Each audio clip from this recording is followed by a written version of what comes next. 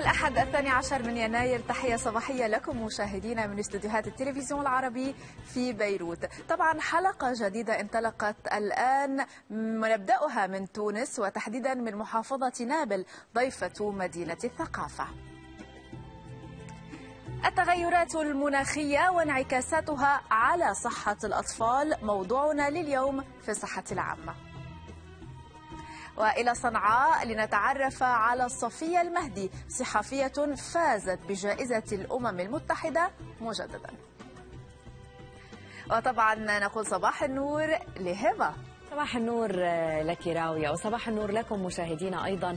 صباحنا لا يحلو إلا بإلقاء نظرة أيضا على مطبخ الشيف راسم. صباح النور لك صباح النور لك كيفك اليوم؟ تمام ماشي الحال. وصباح النور لكل المشاهدين اليوم اللي عم يتابعونا. اليوم رح نعمل وصفة كثير طيبة. هي عبارة عن أفخاذ الدجاج المسحبة من العظم محشية نوعين من الجبن ورح نعمل معها بطاطا دوفينواز كمرافق لها بانتظار هذه الأطباق الشهية شيف. وأيضا الرقص والأصالة والخطوات. ستتحدث اليوم عن التراث بالتحديد. وصباح النور لك جوزيف سلوم. صباح الخير هبة. اليوم فقرتنا خاصة بكل محبي الدبكة. رح نحكي عن هالرقصة ونحكي عن نوعين من الدبكة دبكة العرب ودبكة الدلعونة نتأمل أنه فقرتنا اليوم تنال إعجاب مشاهدينا شكرا لك جوزيف وبانتظار فقرتك أيضا. اذا مشاهدينا البداية ستكون من انطلاق أو ستنطلق خلال الأيام الماضية فعاليات معرض قطار الدولي للكهرمان في نسخته الثانية بمشاركة 13 دولة عربية وأجنبية. يعد هذا المعرض ثاني أكبر معرض عالمي يختص بخامة الكهرمان دعونا نتابع هذا التقرير ومن ثم نعود.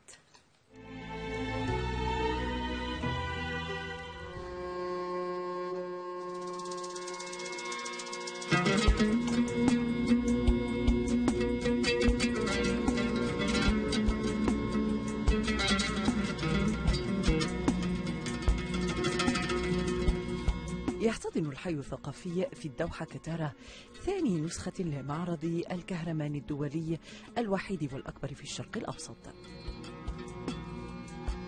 يضم هذا المعرض تشكيلة واسعة من المعروضات النفيسة من المسابح والأحجار.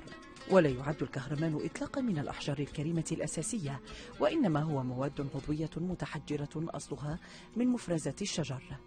راح أتكلم عن مصابيح الحكام الكويت والأسرة الحاكمة. عندنا المصباح هذا لحاكم الكويت الشيخ صباح السالم الصباح طبعا من الحكام الكويت. نوع المصباح هذا ألماني مغلف. الفترينه هذه طبعا نادرة وفيها أنواع معينة ومتنوعه من الألمانيات اللي داولت في المنطقة من 100 سنة 80 سنة 70 سنة الأشكال اللي داولت في منطقتنا بالشرق الأوسط والخليج بالذات. هذا المصباح كامل إحنا مركبينه هو من ورشة هتلر النازية. يسمونه مصباح بطاريات. طبعا هو إحنا مسوينه مصباح ولكن بطاريات يسمى بطري بطاريات منمشه من ورشة هتلر. وإلى الآن هذه فيها خلطة سرية ما حد يعلمها.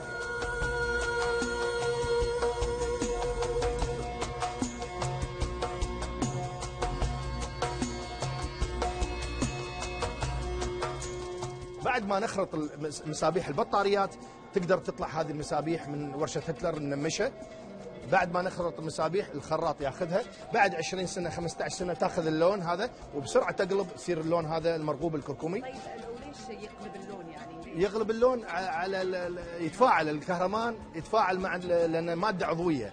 عمرها الكهرمان الحجر عمره من 25 مليون سنة إلى 120 مليون سنة من أيام الديناصورات. عند فركه باليد تنبعث من الكهرمان رائحة الشجر الصنوبري. أما لونه فيتدرج عادة من الأصفر إلى الأصفر الداكن وقد تختلف ألوانه وأحجامه بحسب المناطق وطريقة صنعه.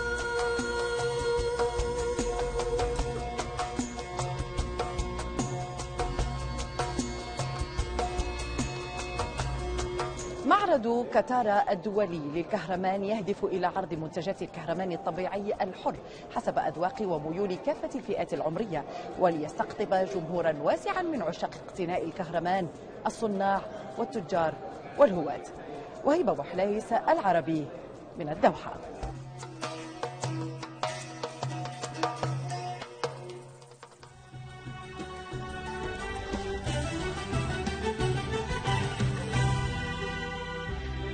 راوية للكهرمان أهمية كتير كبيرة آه، بالدول العربية وخاصة بدول الخليج. بتعرفي هو بالإضافة لأنه بيستخدموه بالحلي وبيستخدموه أيضا بالمسابح آه، بالمسابيح آه، أيضا له أهمية كتير كبيرة للشفاء من الأمراض مثل مرض اليرقان مرض الكبد الوبائي. وأيضا بيقولوا أنه جالب للحظ دائما. حلو كتير. جميل أنه نعتقد بالأمور الإيجابية. صحيح. آه وتكون متاصله بثقافتنا. واصلا هكذا معارض لها روادها وينتظرها صحيح. آه الزوار من سنة إلى سنة. بالذات في الكويت يعني أيضا له اهتمام صح. خاص صحيح. بالكويت. خلينا نقول لمشاهدينا أنه دائما بيمكنهم زيارة صفحاتنا على مواقع التواصل الاجتماعي الخاصة فينا لعرض الأسئلة والتعليقات. أما آخر الأخبار مشاهدينا والمستجدات على الساحتين العربية والعالميه مع الزميلة ليالي بشارة ومع الخبر.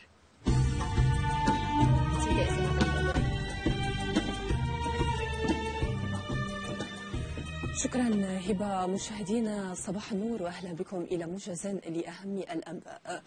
أعلن الرئيس الأمريكي دونالد ترامب أن السعودية دفعت مليار دولار مقابل طلبها نشر قوات أمريكية إضافية في المنطقة.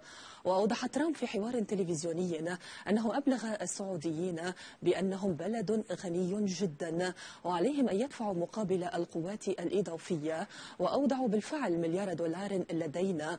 وأكد أن الولايات المتحدة لن تتحمل نفقات عمليات نشر القوات. وأضاف أن السعودية بناء على طلب وافقت على أن تدفع لنا مقابل كل ما نفعله. بثت وسائل إعلام إيرانية مقاطع مصورة لطلاب جامعيين ومواطنين تجمعوا وسط العاصمة طهران للمطالبة بإقالة كافة المسؤولين الذين تسببوا في حادثة إسقاط الطائرة الأوكرانية. وقد رفع محتجون تجمعوا قرب جامعة أمير كبير وسط العاصمة لافتات ورددوا شعارات تندد بسياسة الحكومة وتأخرها في إعلان حقيقة وملابسات جرى في غضون ذلك دعت وكالة سلامة الطيران الأوروبية أمس إلى تجنب المجال الجوي الإيراني حتى إشعار آخر. بدأ في منتصف ليلة السبت الأحد سريان هدنة هدنة وقف إطلاق النار في ليبيا. كان دعا إليها الرئيس الروسي فلاديمير بوتين ونظيره التركي رجب طيب إردوغان خلال قمتهما في إسطنبول الأربعاء الماضي.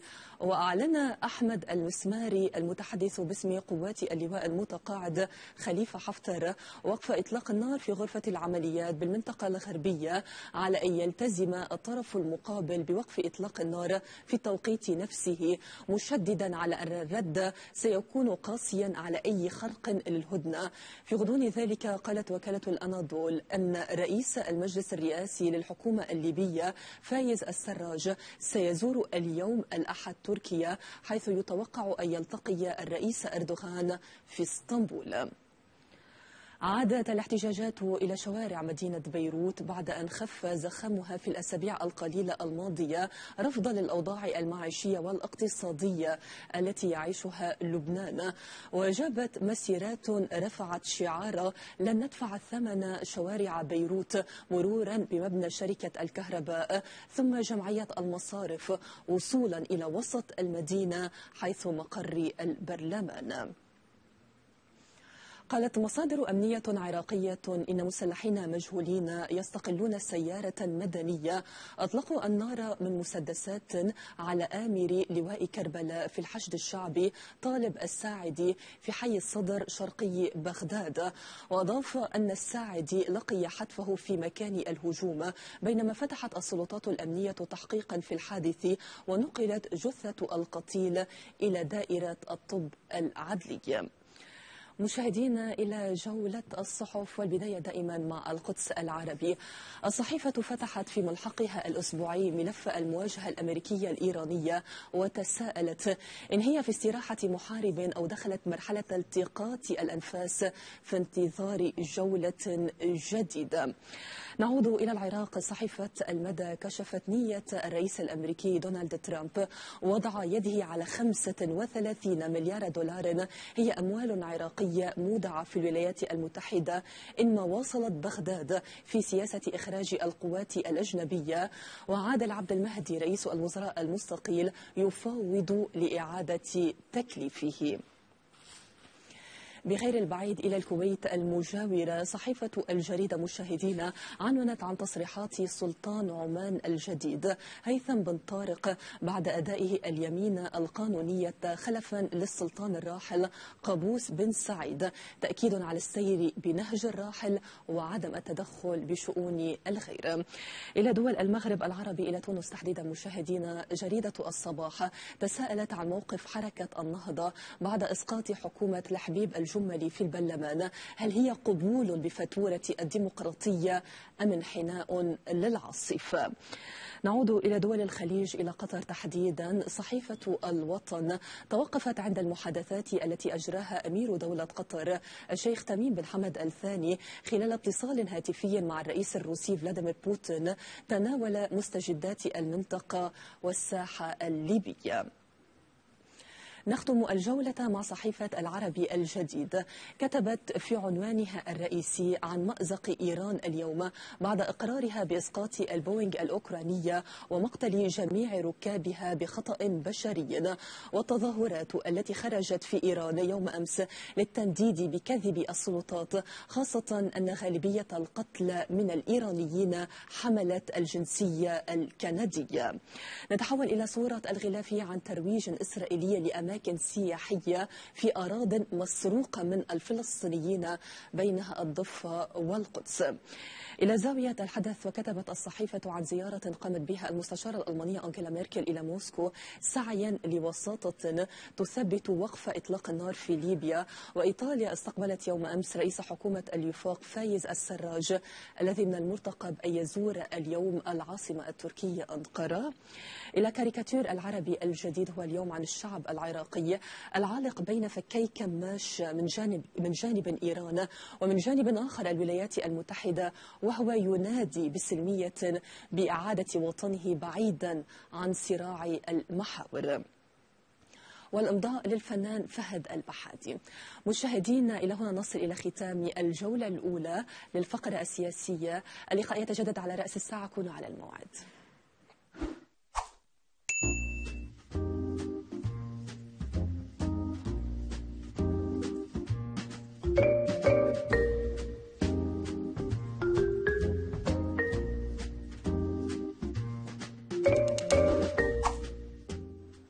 طبعا هبة سؤالنا لليوم للمشاهدين هو من وحي آه، فقرة آه، خطوة لليوم خطوات. آه، خطوات وهي الرقصة الدبكة اللي هي نعم. معروفة أن الرقصة تقليديه ببلاد الشام. صحيح. هي بتجمعنا أنا وأنت اليوم.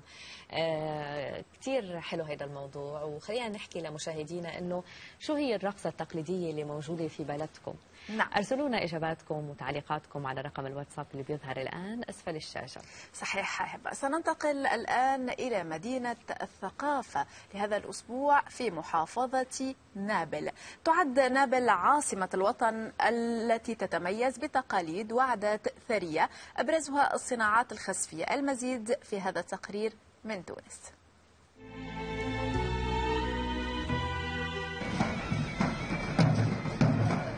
بأنغام الموسيقى التقليدية حلت محافظة نابل ضيفة على مدينة الثقافة بالعاصمة. نابل التي تعد منارة الوطن القبلي التونسي. أتت إلى تظاهرة أيام الجهات بتقاليدها التراثية الفريدة. أبرزها الملابس التقليدية التي تنفرد بخصوصية مميزة. أهم مناسبة هي اللوطيه اللوطيه دي فيها البش الكبير إحنا نسميوه. علاش نقولوا البش كبير خاطر زين برشا. مطروز بال- بالصارمه فهمت في- في القمجة في الفرملة في اليدين في ال- القوفية في ختامره في برشا معناها. وتلبس العروسه ياسر ذهب. نلمولها الذهب نتاع العائلة الكل. كي تبدا حتى أمها ما عندهاش نلمولها نتاع العائلة الكل باش تلبس الذهب. هذيك مع خاطر يزين اللبس التقليدي كانت نابل تسمى في عهد الرومان بنيابوليس وهي تعني الجنة الصغيرة. جنة إضافة إلى جمال موقعها المطل على البحر الأبيض المتوسط تزدهر بصناعات حرفية عدة أبرزها الخزف والبلور والقفاف. حدث مهم وكل جهة تقدم ما- منتوجاتها كما إحنا في نابل. عندنا الحصر عندنا الفخار الصناعة التقليدية اللي تمتاز بالطريزه وديجا بدأت تندثر هي الصناعة التقليدية وإن شاء الله اللي مازالوا يحافظوا عليها باش نعطيوها للأجيال القادمة إن شاء الله بحول الله. يحرص العارضون هنا على أن يحافظوا على موروث تقليدي متنوع تتوارثه الأجيال جيلا بعد جيل. بل ويسعون أيضا إلى التعريف بخصوصية مدينتهم أينما ذهبوا. أمينة مهذب العربي تونس.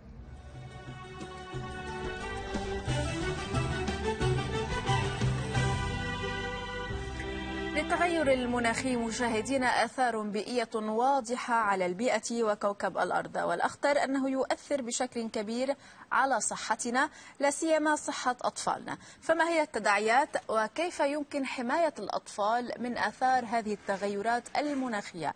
الجواب مع الاختصاصية في الصحة العامة رشا صدق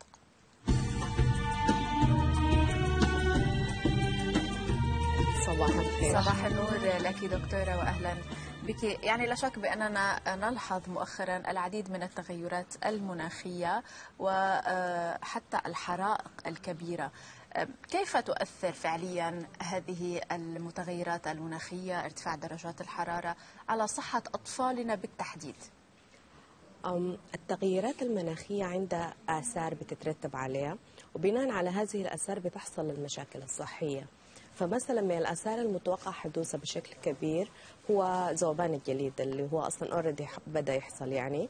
فذوبان الجليد بيؤدي لتغيير في التيارات المائية وده بيأثر على الحياة البحرية بشكل عام يعني. نعم. بتأثر طبعا على تغذيتنا وكده.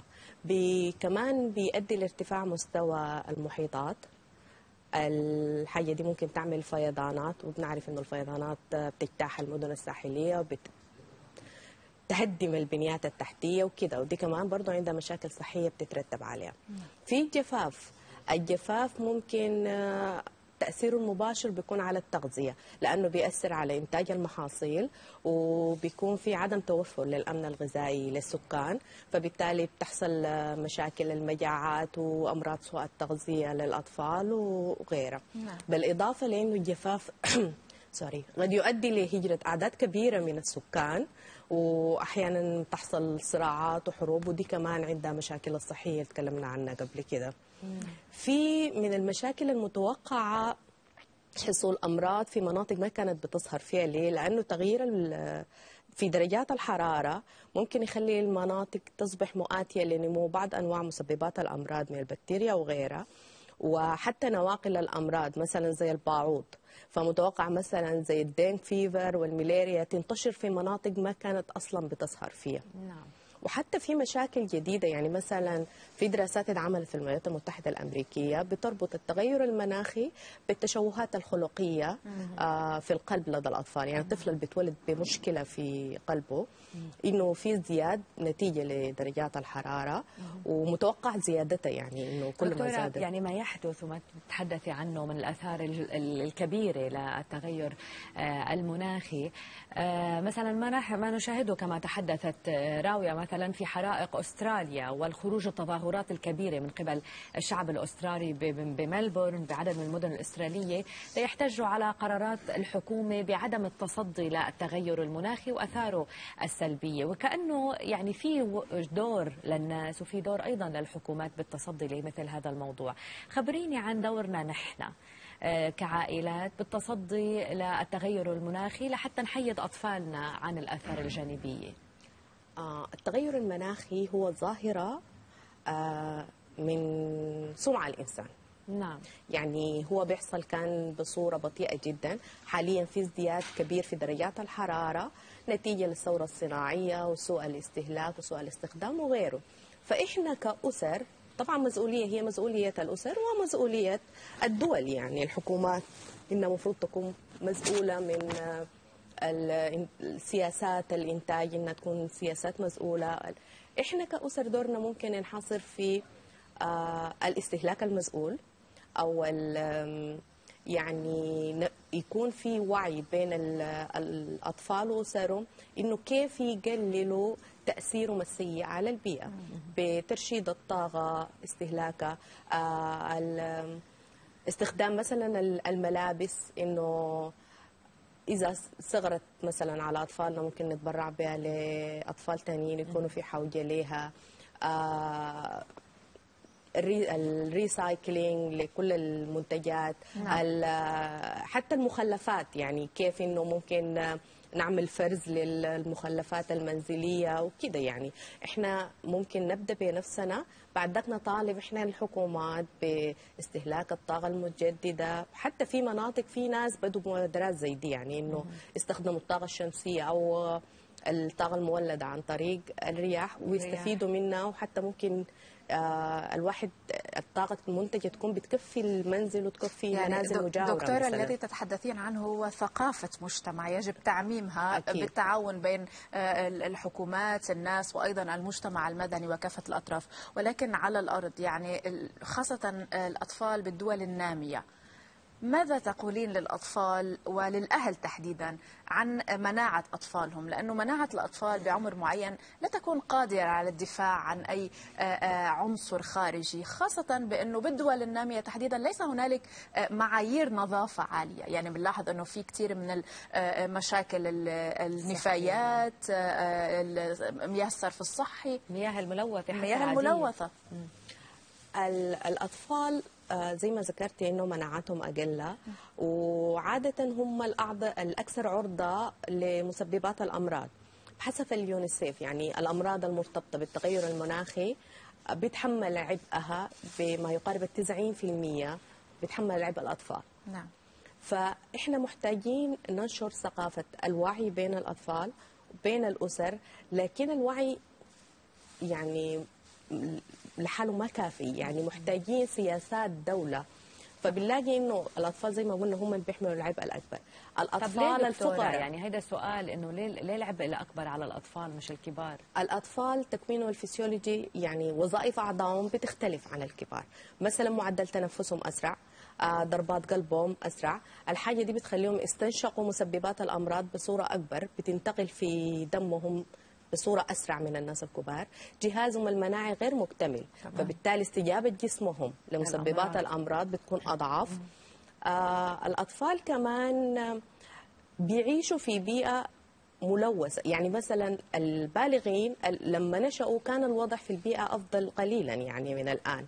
لكن الطفل إذا حيعيش 80 سنة 80 سنة بيعيشها في بيئة ملوثة. ففرصة إصابته بالأمراض أكبر. وزي ما قلنا إنه ال- المياه ارتفاع درجات حرارة المياه بيساعد في نمو بكتيريا كانت ما ممكن تعيش فيها فبيساعد في انتشار الأمراض كمان المنقولة بواسطة المياه بصورة أكبر فبنلاقي إنه هم الحلقة الأضعف بالذات الأطفال ال- من أسر فقيرة أو بيعيشوا في مناطق فقيرة فدائما بيكونوا طبعاً. وضعهم أسوأ من غيرهم لأنه ال- الوضع الاقتصادي غير مساعد ل- زي ما ذكرنا قبل كده إنه بيكون البيئة الفقيرة بيكون ما في مقو... ما في, في معايير مقومات عالية. أيوه ما في مقومات الحياة الأساسية اللي هي المياه الصرف الصحي ال... طيب دكتورة أطفال ال- الدول التي فيها نزاعات وحروب يعني سوريا السودان العراق هؤلاء الأطفال حتى فلسطين أيضا هؤلاء الأطفال الذين يتعرضون لكميات هائلة من المواد الكيماوية نتيجة. القصف الأسلحة المواد المتفجرة كلها مصادر تلو- تلوث هذه كيف يمكن التعامل مع الموضوع؟ يعني على نطاق ربما ضيق على نطاق البلدية الأهل المدينة الدولة المشكلة شوي إنه شوي. آه يعني المشكلة إنه آثارها على الأطفال ما آثار لحظية عشان تتصدى لها مثلا طويلة. البلدية إنه بترافق الطفل مدى حياته فلذلك إنه الفكرة الأساسية هي منعها من الحدوث. إنه أساسا ما مفروض تحصل لأنه التصدي لاثارها في حد ذاته مشكلة وتحدي. يعني إنه في النهاية الآثار مهما الناس تجيف عشان تتصدى لها في النهاية الآثار بتحصل وبتكون طويلة الأمد وبترافق الطفل مدى حياته. يعني إذا آه انفجر في لغم رجله اتقطعت. مثلا حيعيش بإعاقة مدى الحياة. فمحتاج كمية من الدعم النفسي والدعم ال- المادي والمجتمعي عشان هو يقدر يعيش حياته كفرد في هذا المجتمع من غير ما يلاقي صعوبات نعم. فمن كنت حابة أسألك عن أنه التغير المناخي يعني وتأثيره آه، على الطقس اللي نحن عم بنعيشه إن كانت البرد عم بيصير شديد البرودة والشوب. عم بيكون كمان أو الحر عم بيكون شديد الحرارة بالنسبة لهذا الجو اللي نحن عم بنعيشه هلأ هناك برد شديد هناك أطفال عم بيعيشوا يعني عائلات تعيش في العراء يعني كمية كبيرة من اللاجئين.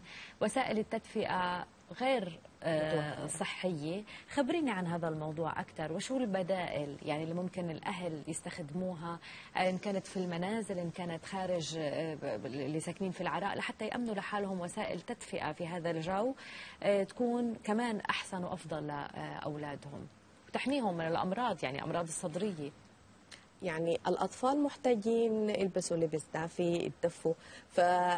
فالتدفئة في بعض الأسر بالنسبة لها بتكون ما متوفرة أساسا. آه في آه كيف كيف يعني كيف نقدر نحمي أولادنا من هذه الأجواء الخاطئة أو الأجواء اللي يعني من صنع الإنسان مثل ما أنت حكيتي؟ المشكلة بتكمن في إنه ال- ال- الفرد دوره ممكن يكون قليل جدا في الحاجة دي. يعني مثلا في التخطيط المدني ممكن تتأسس أو تتبني البيوت بطريقة إنه تكون مثلا عازلة للحرارة لدرجات الح... يعني بتقدر تتحكم مثلا في درجات الحرارة. الحاجة دي أنا إذا فرد عندي مقدرة مادية ممكن أقدر أعملها. غير كده ما بقدر فدي بتبقى مسؤولية الدولة إنها توفر للناس مساكن بحيث إنها تكون مهيئة إنها تحميهم آه، برد الشتاء وحر الصيف. وبنلاقي التغير في درجات الحرارة أكثر تأثيره على الأطفال. يعني عموما الجسم عنده المقدرة إنه يحافظ على درجات حرارته. لكن الأطفال آه، مقدرتهم على تكييف درجات الحرارة بتكون أقل من الناس الكبار. يعني ضربات الشمس أو ضربات ال- البرودة الشديدة اللي بتأثر على الأطفال ممكن تؤدي إلى إنهاء حياته. نعم. ودي مشكلة في حد ذاتها ده غير الأمراض الثانية يعني. فمحتاجين تصرف يعني أنا بفترض إنه على مستوى الدولة على مستوى التخطيط المدني على مستوى على الأقل منظمات المجتمع المدني إنها توفر للناس وسائل التدفئة بالذات الأسر الفقيرة والمستضعفة لأنه هم اللي بيحملوا العبء الأكبر أكيد. طب ماذا عن آه، هل هنالك ربما طعم خاص آه، يعطى للأطفال آه، للتخفيف من تفاعله مع العناصر البيئية الملوثة الخارجية هل توصل العلم إلى هذه الدرجة من التطور؟ يعني أمور قد تحميه قد تزيد من مناعته إرشادات قد تعطينها للأهل لزيادة مناعة الأطفال وبالتالي مقاومته لأي عنصر خارجي ملوث مقاومة الجسم يعني الجسم عنده المقدرة على التصدي للملوثات ب- من خلال الجهاز المناعي. الجهاز المناعي بيتقوى بحاجتين بيتقوى بالتغذية الجيدة وبالتطعيمات زي ما انت ذكرتي للأمراض. يعني مثلا الالتهاب الرئوي هو ممكن يكون المسبب الأول للوفيات لدى الأطفال وبيلعب تلوث الهواء دور كبير في انتشار المرض. طبعا. ففي طعم حاليا مثلا وغيره من الأمراض يعني المنشورة وفي تطعيمات ضدها دي ممكن تقلل من انتشار الأمراض. لكن زي ما قلت إنه مفروض إحنا نوقف التغير المناخي الحاصل عشان ما نصل لمراحل ما فيها خطجعة نعم. يعني مراحل تكون مدمرة وممكن يعني حسب السيناريوهات الأسوأ إنه ممكن تكون نهاية لحياتنا مثلا نعم. على الكوكب طيب دكتورة يعني المسببات آه، موجودة وعم بنعيشها كلنا ولكن العلاج هو علاج مش فقط من الفرد هو علاج جماعي تكاملي. وحكومي يعني بالأساس شو الإرشادات اللي بتنصحيها للأهل لحتى آه، يعني على القليل يقللوا نسبة الأمراض اللي ممكن أنها توصلهم لأولادهم؟ بالنسبة للأهل مفروض يوعوا إنه عندهم دور في التصدي للتدهور المناخي الحاصل. نعم. آه يبدوا بخطوات بسيطة من المنزل زي ما ذكرنا. نعم. ولكن و- على على صعيد الصحة أنا عم بحكي مش على صعيد فرز النفايات وعلى صعيد صحتهم. شو لازم يعملوا فحوصات قد إيه لازم يعني يودوا أولادهم آه، على الأطباء؟ بالنسبة للمتابعة الصحية معروف يعني كل ما كان الطفل في عمر أقل بيتابع بصورة مترددة أكثر نعم. ويعني كل ما يمشي مثلا للتطعيم بيحصل له كشف طبي وبيشوفوه وكده. لكن الفكرة الأساسية إنه إذا حس الطفل بأي عرض إنه الناس ما تهمله وتطلب الخدمات الصحية يعني تمشي المستشفيات وتقابل الأطباء وتشوف المشاكل الموجودة. إذا في درجات حرارة شديدة الناس تحاول تتفادى مثلا الطلوع في الخارج في الأجواء ال- البرد الشديد والحر الشديد مثلا. آه، إذا في أي مشكلة بيئية يعني الناس حست إنه في تغير في المناخ كبير الناس تحاول تقعد داخل المنازل تتفادى الخطر الأكبر. مناطق الازدحام الناس تتفاداها لأنه هي اللي بيحصل فيها انتشار كبير للأمراض وكده. لكن الحب الحاجة اللي أنا حابة أقولها إنه ال- لما تحصل ال- الأوبئة بيبقى ال- الكنترول صعب. يعني إذا وصلنا مرحلة إنه انتشار الأمراض كان بصورة كبيرة بيبقى محافظة الفرد على نفسه بتبقى أصعب من إنه يكون في حالات مرضية م- متفردة يعني. فبيبقى هنا دور الدولة أكبر ومهم جدا جدا. خاصة بالدول الفقيرة. الفقيرة. إذا رشا الصادق اختصاصية في الصحة العامة شكرا جزيلا لك شكراً على كل لك. هذه المعلومات شكراً. والنصائح. طبعا هبة سنذهب وإياك الآن إلى فاصل. نتابع بعده فقرة مهمة جدا للأشخاص اللي بحبوا عالم الحشرات وحقائق غريبة انتظروها مع محمد غمروش. فاصل ونعود.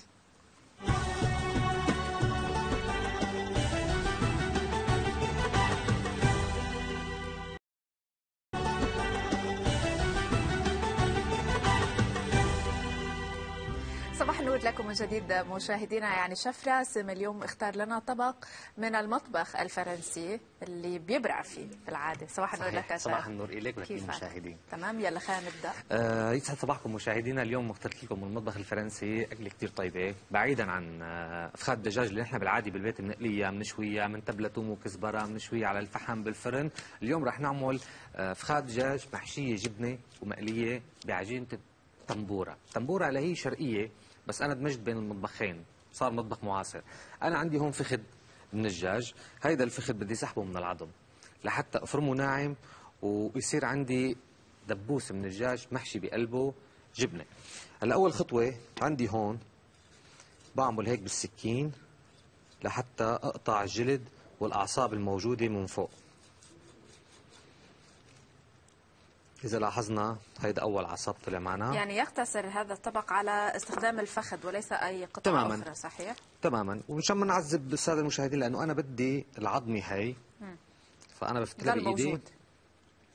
وبطلع بهالشكل هيدا بتصير عندي العظمة جاهزة. هي العظمة أنا ب- بحاجتها ليش؟ لتعطيني شكل الصحن أو الطبق اللي بدي يكون. في عظمة تانية تحت بالفخذ دائما بتكون كمان رح شيلها بهي الطريقة. بدنا ننتبه نحن وعم نسحب الفروج أو الفخذ من السكين إذا كانت حدي كتير ما نروح إصبعاتنا. هلأ في ناس بتحب تضيف الجلد وفي ناس لأ. أنا اليوم ما بدي أحط الجلد. ماني محبذ أحط جلد يعني بقلبها. يعني غريب الأمهات أصلا كثير بيحبوا يحطوا جلد. جلد. هلأ طيب ببعض الاكلات بس هي الأكلة أنا ما بدي أحط لها فيها جلد لأنه فيها جبنة وفيها كثير مواد دسمة. عندي هون كمان العظمة الصغيرة. بهي الطريقة وبتخلص منه هلا اللي كبيتهم أنا بالعادة بغليهم بعمل لهم بقى عطرية بصير عندي مرقة دجاج. آه، ما. في داعي نكب شيء هلا عندي هون الفخذ صار جاهز وعباره عن هبرة بدي أفرمه بشكل ناعم. يعني تفضل فرمه بالسكين آه، قطع تماما. كبيرة وليس لحتى آخذ بال- هذا الطعم الطيب. نعم. بيفرق معي إذا عملته بال- بالعجانة أو بطاحونه اللحمة بيطلع كتير ناعم ما بقى بنبسط بطعم الأكل.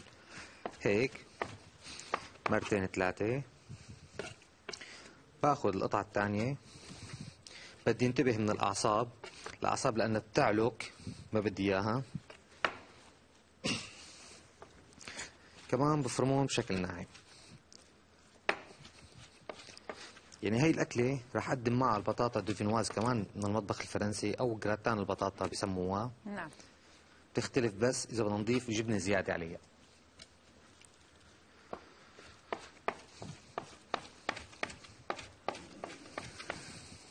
هلا انت قلتي لي كيف رح يطلعوا هيك؟ إيه يعني خلينا نشوف. مع مشاهدينا الشكل اللي عم يتحدث. عنه الشيف. آه، استغربت يعني صار مثل آه، بول أو آه، كرة كرة. والعظمة الدجاج موجودة فيها. خلينا نشوفها سوا. تماما. هلا هون شو رح يصير عندي الدجاج فرمته وعندي العظمة صارت جاهزة. نعم. هيدا الدجاج ما بيمسك على بعضه. هيك. نعم. بنرش له شوية ملح. رشة. التماسك فلفل. أسود للتماسك. معلقه طحين صغيرة. يعني. الطحين آه، بيجعل أي مادة تتماسك حتى لو كانت. ليست سائلة. تماما. تماما ها. هلا هيك صار عم يلزق على إيدي. صارت مثل عجينة. تماما. هلا شو بعمل؟ على ورقة مطبخ ورقة نايلون بمده بهالشكل. هلا صار عندي شكل دائري. حط شوية جبنة. تشيدر تشيدر فينا Emmental كمان. فينا أي نوع جبنة. Roquefort بصير. عندي هون موزاريلا وفينا أشقوان أنت كمان. بتفضل بأكثر من طبقة تخلط بالأجبان. تطلع النكهه أطيب. هلا العظمة. بس بعمل لها هيك. وبلف كيس النايلون. بس نعم. نشوف بهيدا الشكل. نشوف مع المشاهدين أصلا. بدي لفهم على بعض. لحتى يصير عندي العظمة من فوق. واللحم من تحت هلا بشيل كيس النايلون شوي. ما بتكون كتير متماسكة.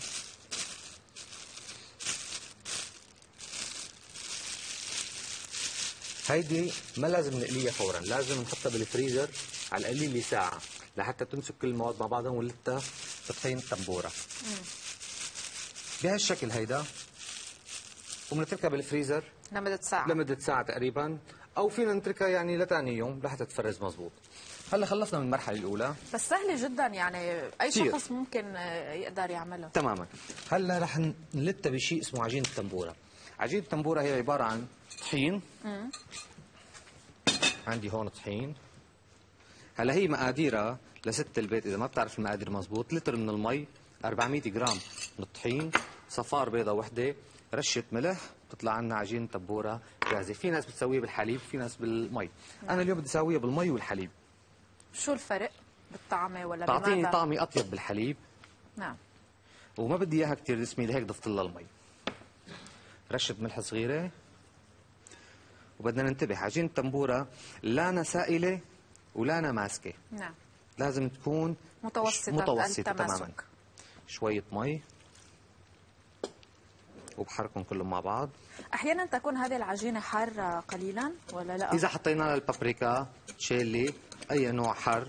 كمان تعطينا النكهة اللي بدنا إياها. هي أكثر شيء بنستخدمها مع القريدس صحيح. كرمال هيك عمل لك هاي حركناهم كلهم مع بعض. القوام صار شوي رخو هسه بدي شوي حليب. وهنا يعني اللي ذكرته حضرتك هو فكرة لسيدة المنزل لحتى تعمل آه، للأشخاص اللي بيحبذوا الدجاج. أو حتى آه، الريدس على فكرة بتصير كمان باللحم. إذا بنحشي اللحم بتصير. عندي هون صار طنبوره صار جاهزة. هلا شو بنعمل؟ شو بنعمل؟ عندي هون crispy الدرة نعم. هو ال corn flakes العادي. بننعمه كثير منيح.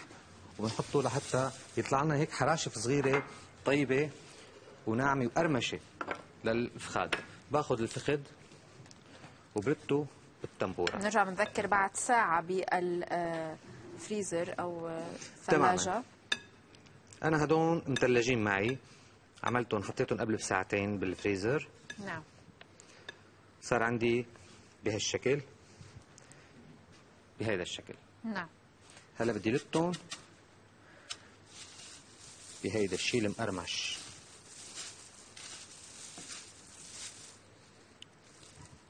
هيك طلعت عندي. بالنهاية. هلا على زيت. نوعا ما. حامي. بعتقد إنه ال... بهالشكل. بعتقد إنه الأطفال بيحبذوا هذه كتير. الأكلة. يعني هي وجبة متكاملة. كمان راح نساوي معها البطاطا dauphinoise. كتير كمان طيبة. هلا بعد ما لفيتها بال tempura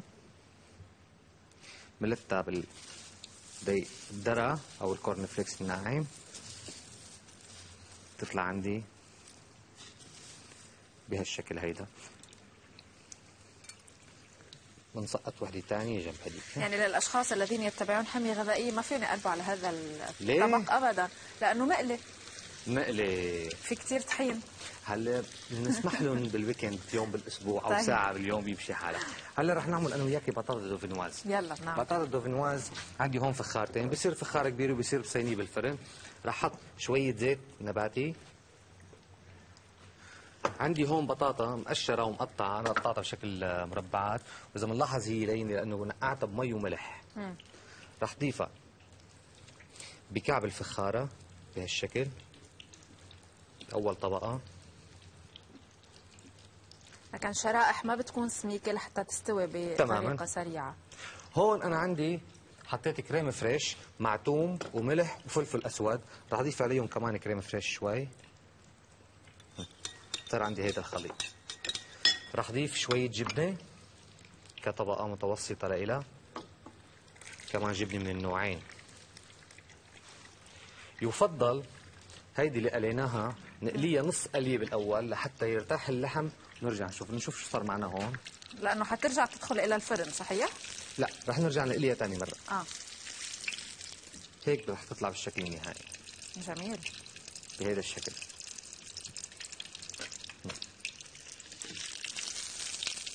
تمام. هلأ كمان رح نعمل وحدة ثانية بس لنخلص البطاطا دوفنواز عندنا هون جبنة. إذا قلنا هون كريم فريش مع توم مع ملح مع نعم. فلفل أسود بنضيف شوي عليهم. بهيدا الشكل. وبناخذ طبقه رقيقه رقيقه كثير بطاطا فوق منها. ما قلتي لي حبيتيها؟ حبيتها. خلص اليوم معزومة على الغداء. ناخذ وحدة رقيقة هون. كمان بناخذ شوية جبنة ما بنكتر لأنه الجبنة على الوش رح تحمر. وما تستوي معي البطاطا بس رح اضيف فوق منها كريم فريش. أنا هون سالق شمندر كمان رح زين فيه الطبق شمندر مع شوية ملح وفلفل أسود. بهي الطريقة هيك صار معروف الآن هو موسم الشمندر و... صحيح. وقيمته الغذائية العالية جدا. ألوانه وطعمته آه، الفوائد الغذائية اللي بيعطي بيعطينا إياها. بهي الطريقة صار عندي بطاطا دوفينواز. نعم. هدول بنحطهم بالفرن. قد إيه مد- مدة الدخول إلى مدة؟ الاستواء تقريبا من 20 ل 30 دقيقة. على درجة حرارة 170 نعم. بس لازم نضيف كريم فريش مثل ما قلنا حتى تستوي معنا البطاطا. نعم. هلا بنعمل الشيء الثالث اللي هي كمان الفخذ. هلا إذا كانت مفرزة يفضل مثل ما قلنا نشمع بالأول أو نص قليه وبعدين نقليها قليه كاملة.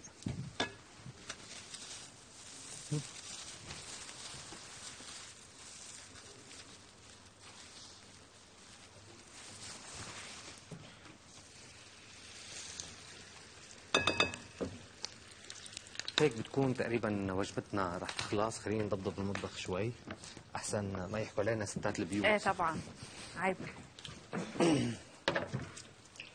يعني أنا ب- مع العلم أنا امي ما لما بدخل على المطبخ ما بترك لي جلي ابدا. ما بتترك لا أنا بتقلي. بتقوم المطبخ وبتقعديه وعشو بيكون ما في شيء مهم يعني بس إنه.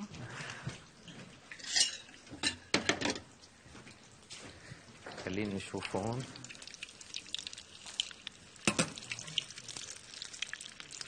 اذا خلينا نذكر أول شيء شو عملنا. سحبنا فخذ الدجاج. قطعنا شلنا الجلد خلصنا من الجلد ملح فلفل أسود شوي ضفنا عليه معلقة طحين لحتى يمسك مع بعضه. بعدين حطيناه على ورقة آه، خشخاش أو ورقة نايلون وضفنا عليه جبنة الشيدر وجبنة الموزاريلا وغلفناه مع العظمه له بنحطه بالفريزر مد- مدة ساعة لساعتين لثاني يوم. بضاين هيك بالفريزر ثلاث شهور حتى لحتى نقلي بعدين لفيناه بال tempura ال tempura هي عبارة عن طحين مع حليب ومي ورشة فلفل وشوية آه، مي وحطينا كمان آه، بيضة عشان ما تمام. ننساها. تمام. عشان اللزوجه وبعدين حطيناهم بال corn flakes وقليناهم. بالنسبة لبطاطا ال dauphinoise عندي بطاطا قشرتها قطعتها نقعتها بمي وملح. حطيت بالفخارة شوية زيت بطاطا جبنة نوعين كمان. ضفت عليها crème fraîche مع توم وفلفل أسود وملح. ضفت عليها كمان طبقة ثانية بطاطا وجبنة وحطيتها بالفرن. هلأ 20 دقيقة رح تكون الوجبة خالصة. بدنا نشوف أنا وياك بنهاية الحلقة كيف رح تكون النتيجة النهائية. بشكلها النهائي أكيد بتشهي شكرا لك. شاف في نصيحة. وجهتها للمشاهدين. صحيح. خلينا نشاهدها سوية المشاهدين.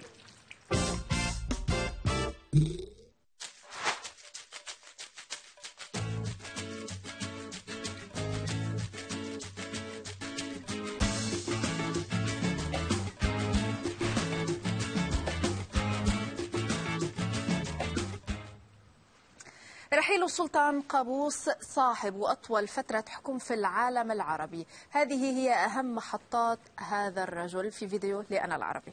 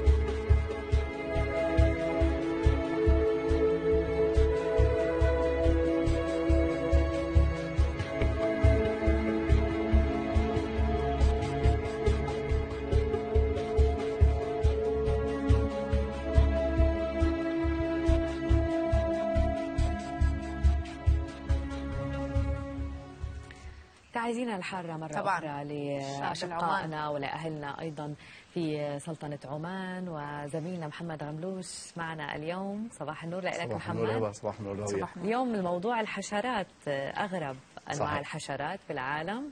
اليوم معلومات غريبة بعض الشيء لكن قبل البدء آه، هيك أخذ رأيكم بشيء. من برأيك هبة هو أقوى حيوان على وجه الأرض؟ هيك أكثر حيوان عنده قوة بخوف ما بعرف إنه ال- يعني الأسد الأسد مثلا راوية أنا ما بعتقد أنه الأسد يمكن يخيل لنا أنه الأسد هو الأقوى لكن ما بعتبره هو بعضنا قد يقول الفيل أي. القرش الحوت الحيوانات الضخمة التي يمكن أن بعتبر الأفعى يمكن أنا الأفعى يمكن مثلاً. لأنه الأفعى يعني مخيفة. صحيح صحيح لكن سنرى سويا الكائن الأقوى على وجه الأرض سنراه في الصورة الآن. يبدو أنه من الحشرات بما أنه. موضوعك عن. الحشرات هذا الكائن الذي سيظهر في الصورة الآن. عارف إذا مبين لكم صغير جدا. هذا صغير. الكائن يسمى خنفساء هرقل. هذا الكائن يستطيع أن يحمل ما يوازي إنسانا يحمل سبعة أفيال. تصور هذه القوة الهائلة في هذا الكائن. نعم. معلومات هذه وأكثر في أشياء بعد حقائق. صادمة فعليا. يلا خلينا نبدأ فقرتنا معك. يلا.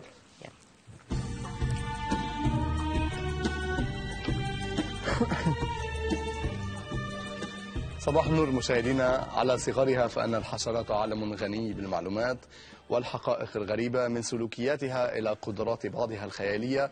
نستعرض لكم اليوم في فقرة حول العالم عددا من أغرب حشرات كوكبنا.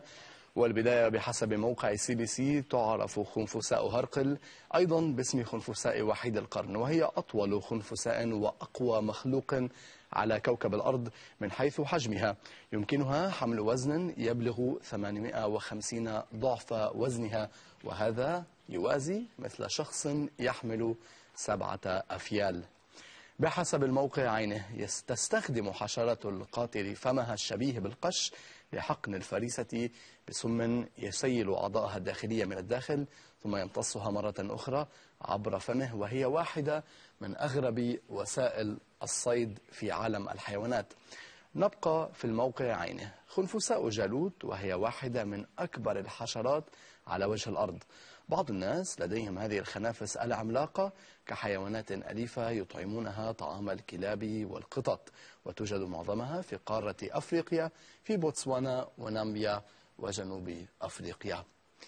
إلى سرعوف زهرة الشيطان. هذه السلالات جيدة في محاكاة الزهور التي تجلس عليها. تنتظر بسكون تام إلى أن تصل الفريسة ثم تنتزعها. أنهم يحبون أكل الذباب والعث والفراشات.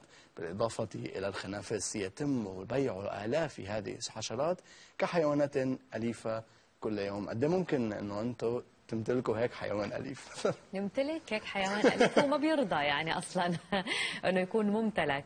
أه بعتقد أنه كتير كتير غريب الأخبار اللي أنت حكيتها والأجمل والأغرب من هيك هي هذه سبحان الله عن جد يعني مخلوقات جميلة جدا. شوف شكلها مميز ولوحة فنية عم. سنأتي إلى شيء في في الحشرة التالية غريب جدا.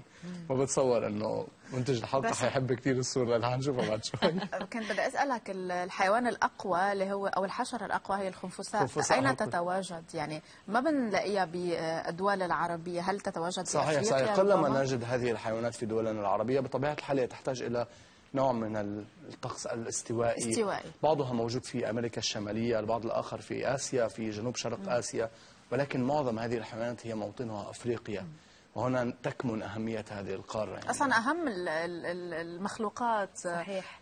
بالثروة الحيوانية بشكل عام موجودة بأفريقيا صحيح صحيح صحيح لنستكمل وإلى عث أطلس وبحسب موقع National Geographic تحمل هذه العثة الضخمة على جناحين يبلغ طولهما طول الواحد منهما 25.4 سنتيمتر مع أطراف الجناح قبل ما أقول السر الذي موجود في هذه الصورة راوية وهبة شو في شيء غريب مبين بالصورة؟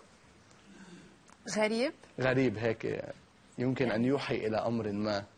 إلى خليني- عمر ما؟ خليني أساعدكم أكثر. نعم. يشبه رأس أي حيوان هذا؟ رأس الثعبان. مم. وهي واحدة من أغرب الظواهر في مملكة صحيح. الحيوان. يعني هذه هذه هذه الحشرة يعني صحيح. ما زلنا إلى اليوم نجهل على الطرف لماذا عين إلى طرف هذه. الحشرة طرف جناحها؟ رأسها صحيح صحيح. وهي واحدة من أغرب الظواهر في عالم الحيوانات. نعم. بسبب الأنماط الموجودة على أجنحتها تعرف أيضا باسم عث الكوبرا.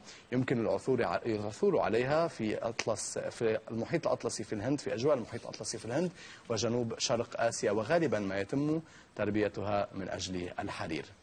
إلى ذبابة العقرب من النظرة الأولى نفسها يمكن أن تفهم لماذا تسمى هذه الحشرة بذبابة العقرب لها تشابه كبير مع العقرب ولك ولكي نكون دقيقين أكثر ذيل ذبابة العقرب الذكر يميل إلى أعلى تماما مثل العقرب ولكن على عكس العقارب فإن هذه الحشرة لا تلسع ولا تضخ السماء بذيلها. تسعة العقرب قاتلة بالمبدأ ساعة العقرب. سمه قاتل هذه ذبابة مسالمة فقط لها. شكل العقرب. دون فعالية العقرب نعم بدنا نشكرك محمد عملوش على كل هذه المعلومات القيمة فعلا والجديدة. بالنسبة لنا وإلى فقرات أخرى ومعلومات وحقائق أخرى حول العالم بدنا نذكر طبعا هبه بس قبل ال- الختام بأنه هذه الحيوانات هي مهمة جدا لأنه منا بناخذ آه، ال- يعني أي طعم ربما آه، صحيح. مضاد لأي عقصة لولا من الحشرات الأفاعي لما كنا تواجدنا صحيح. هذا هل قد لها الحشرات. يعني ليست صحيح. قاتلة. صحيح. على أمل إنه يكون استخدامها كمان غير منافي للطبيعة وللبيئة مثل أكيد. ما عم نشوف هلأ من نتيجة أعمالنا على كل حال بدنا نشكرك كثير شكرا محمد وبدنا نروح أنا وانت راويه لفاصل نعم. قصير ومن ثم نعود لنكمل باقي فقرات آه، صباح النور ابقوا معنا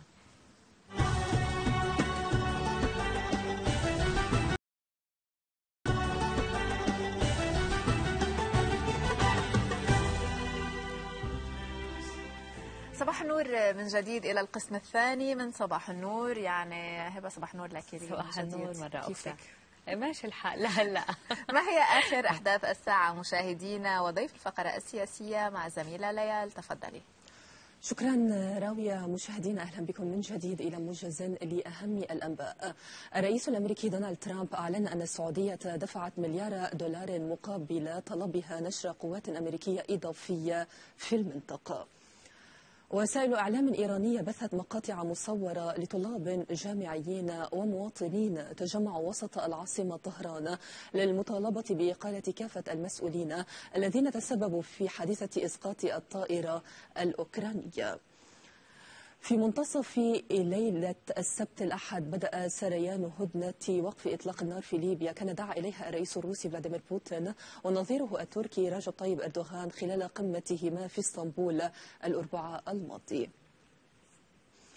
الاحتجاجات عادت إلى شوارع مدينة بيروت بعد أن خف زخمها في الأسابيع القليلة الماضية رفضا للأوضاع المعيشية والاقتصادية التي يعيشها لبنان.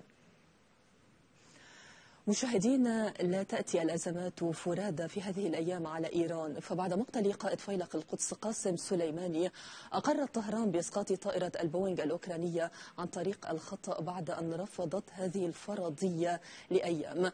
في وقت كانت فيه تراقب خروج محتجين في إيران ينددون بسياسة النظام وعراقيين في بغداد ومحافظات الجنوب رفعوا شعارات لا لإيران ولا لأمريكا. لماذا غيرت طهران استراتيجيتها وتبنت إسقاط البوينغ الأوكرانية ولماذا لم يخفف مقتل سليماني حدة الاحتقان الشعبي ضد النظام الإيراني في طهران وبغداد معنا هذا موضوع نقاشنا مع دكتور مروان قبلان مدير وحدة تحليل السياسات في المركز العربي للأبحاث ودراسة السياسات. هو معنا مباشرة من العاصمة القطرية الدوحة. دكتور مروان صباح الخير وأهلا بكم في تلفزيون العربي. صباح الخير شكرا على الاستضافة. أهلا وسهلا. إذا يوم أمس محتجون أتوا إلى حرم إلى محيط جامعة أمير كبير في وسط العاصمة الإيرانية طهران حزنا على من قضوا من ذويهم. في حادثة إسقاط طائرة البوينغ الأوكرانية وعلى متنها يومها كان 176 غالبيتهم من الإيرانيين الذين يحملون الجنسية المزدوجة الإيرانية والكندية معنا. هذا المشهد سرعان ما تحول إلى احتجاجات نادى المحتجون بسقوط الدكتاتور على حد تعبيرهم. دكتور مروان بداية كيف تحولت مشاعر التعاطف مع النظام الإيراني بعد مقتل قاسم سليماني إلى احتجاجات مجددا خرجت بطهران ضد النظام بالعاصمة الإيرانية طهران؟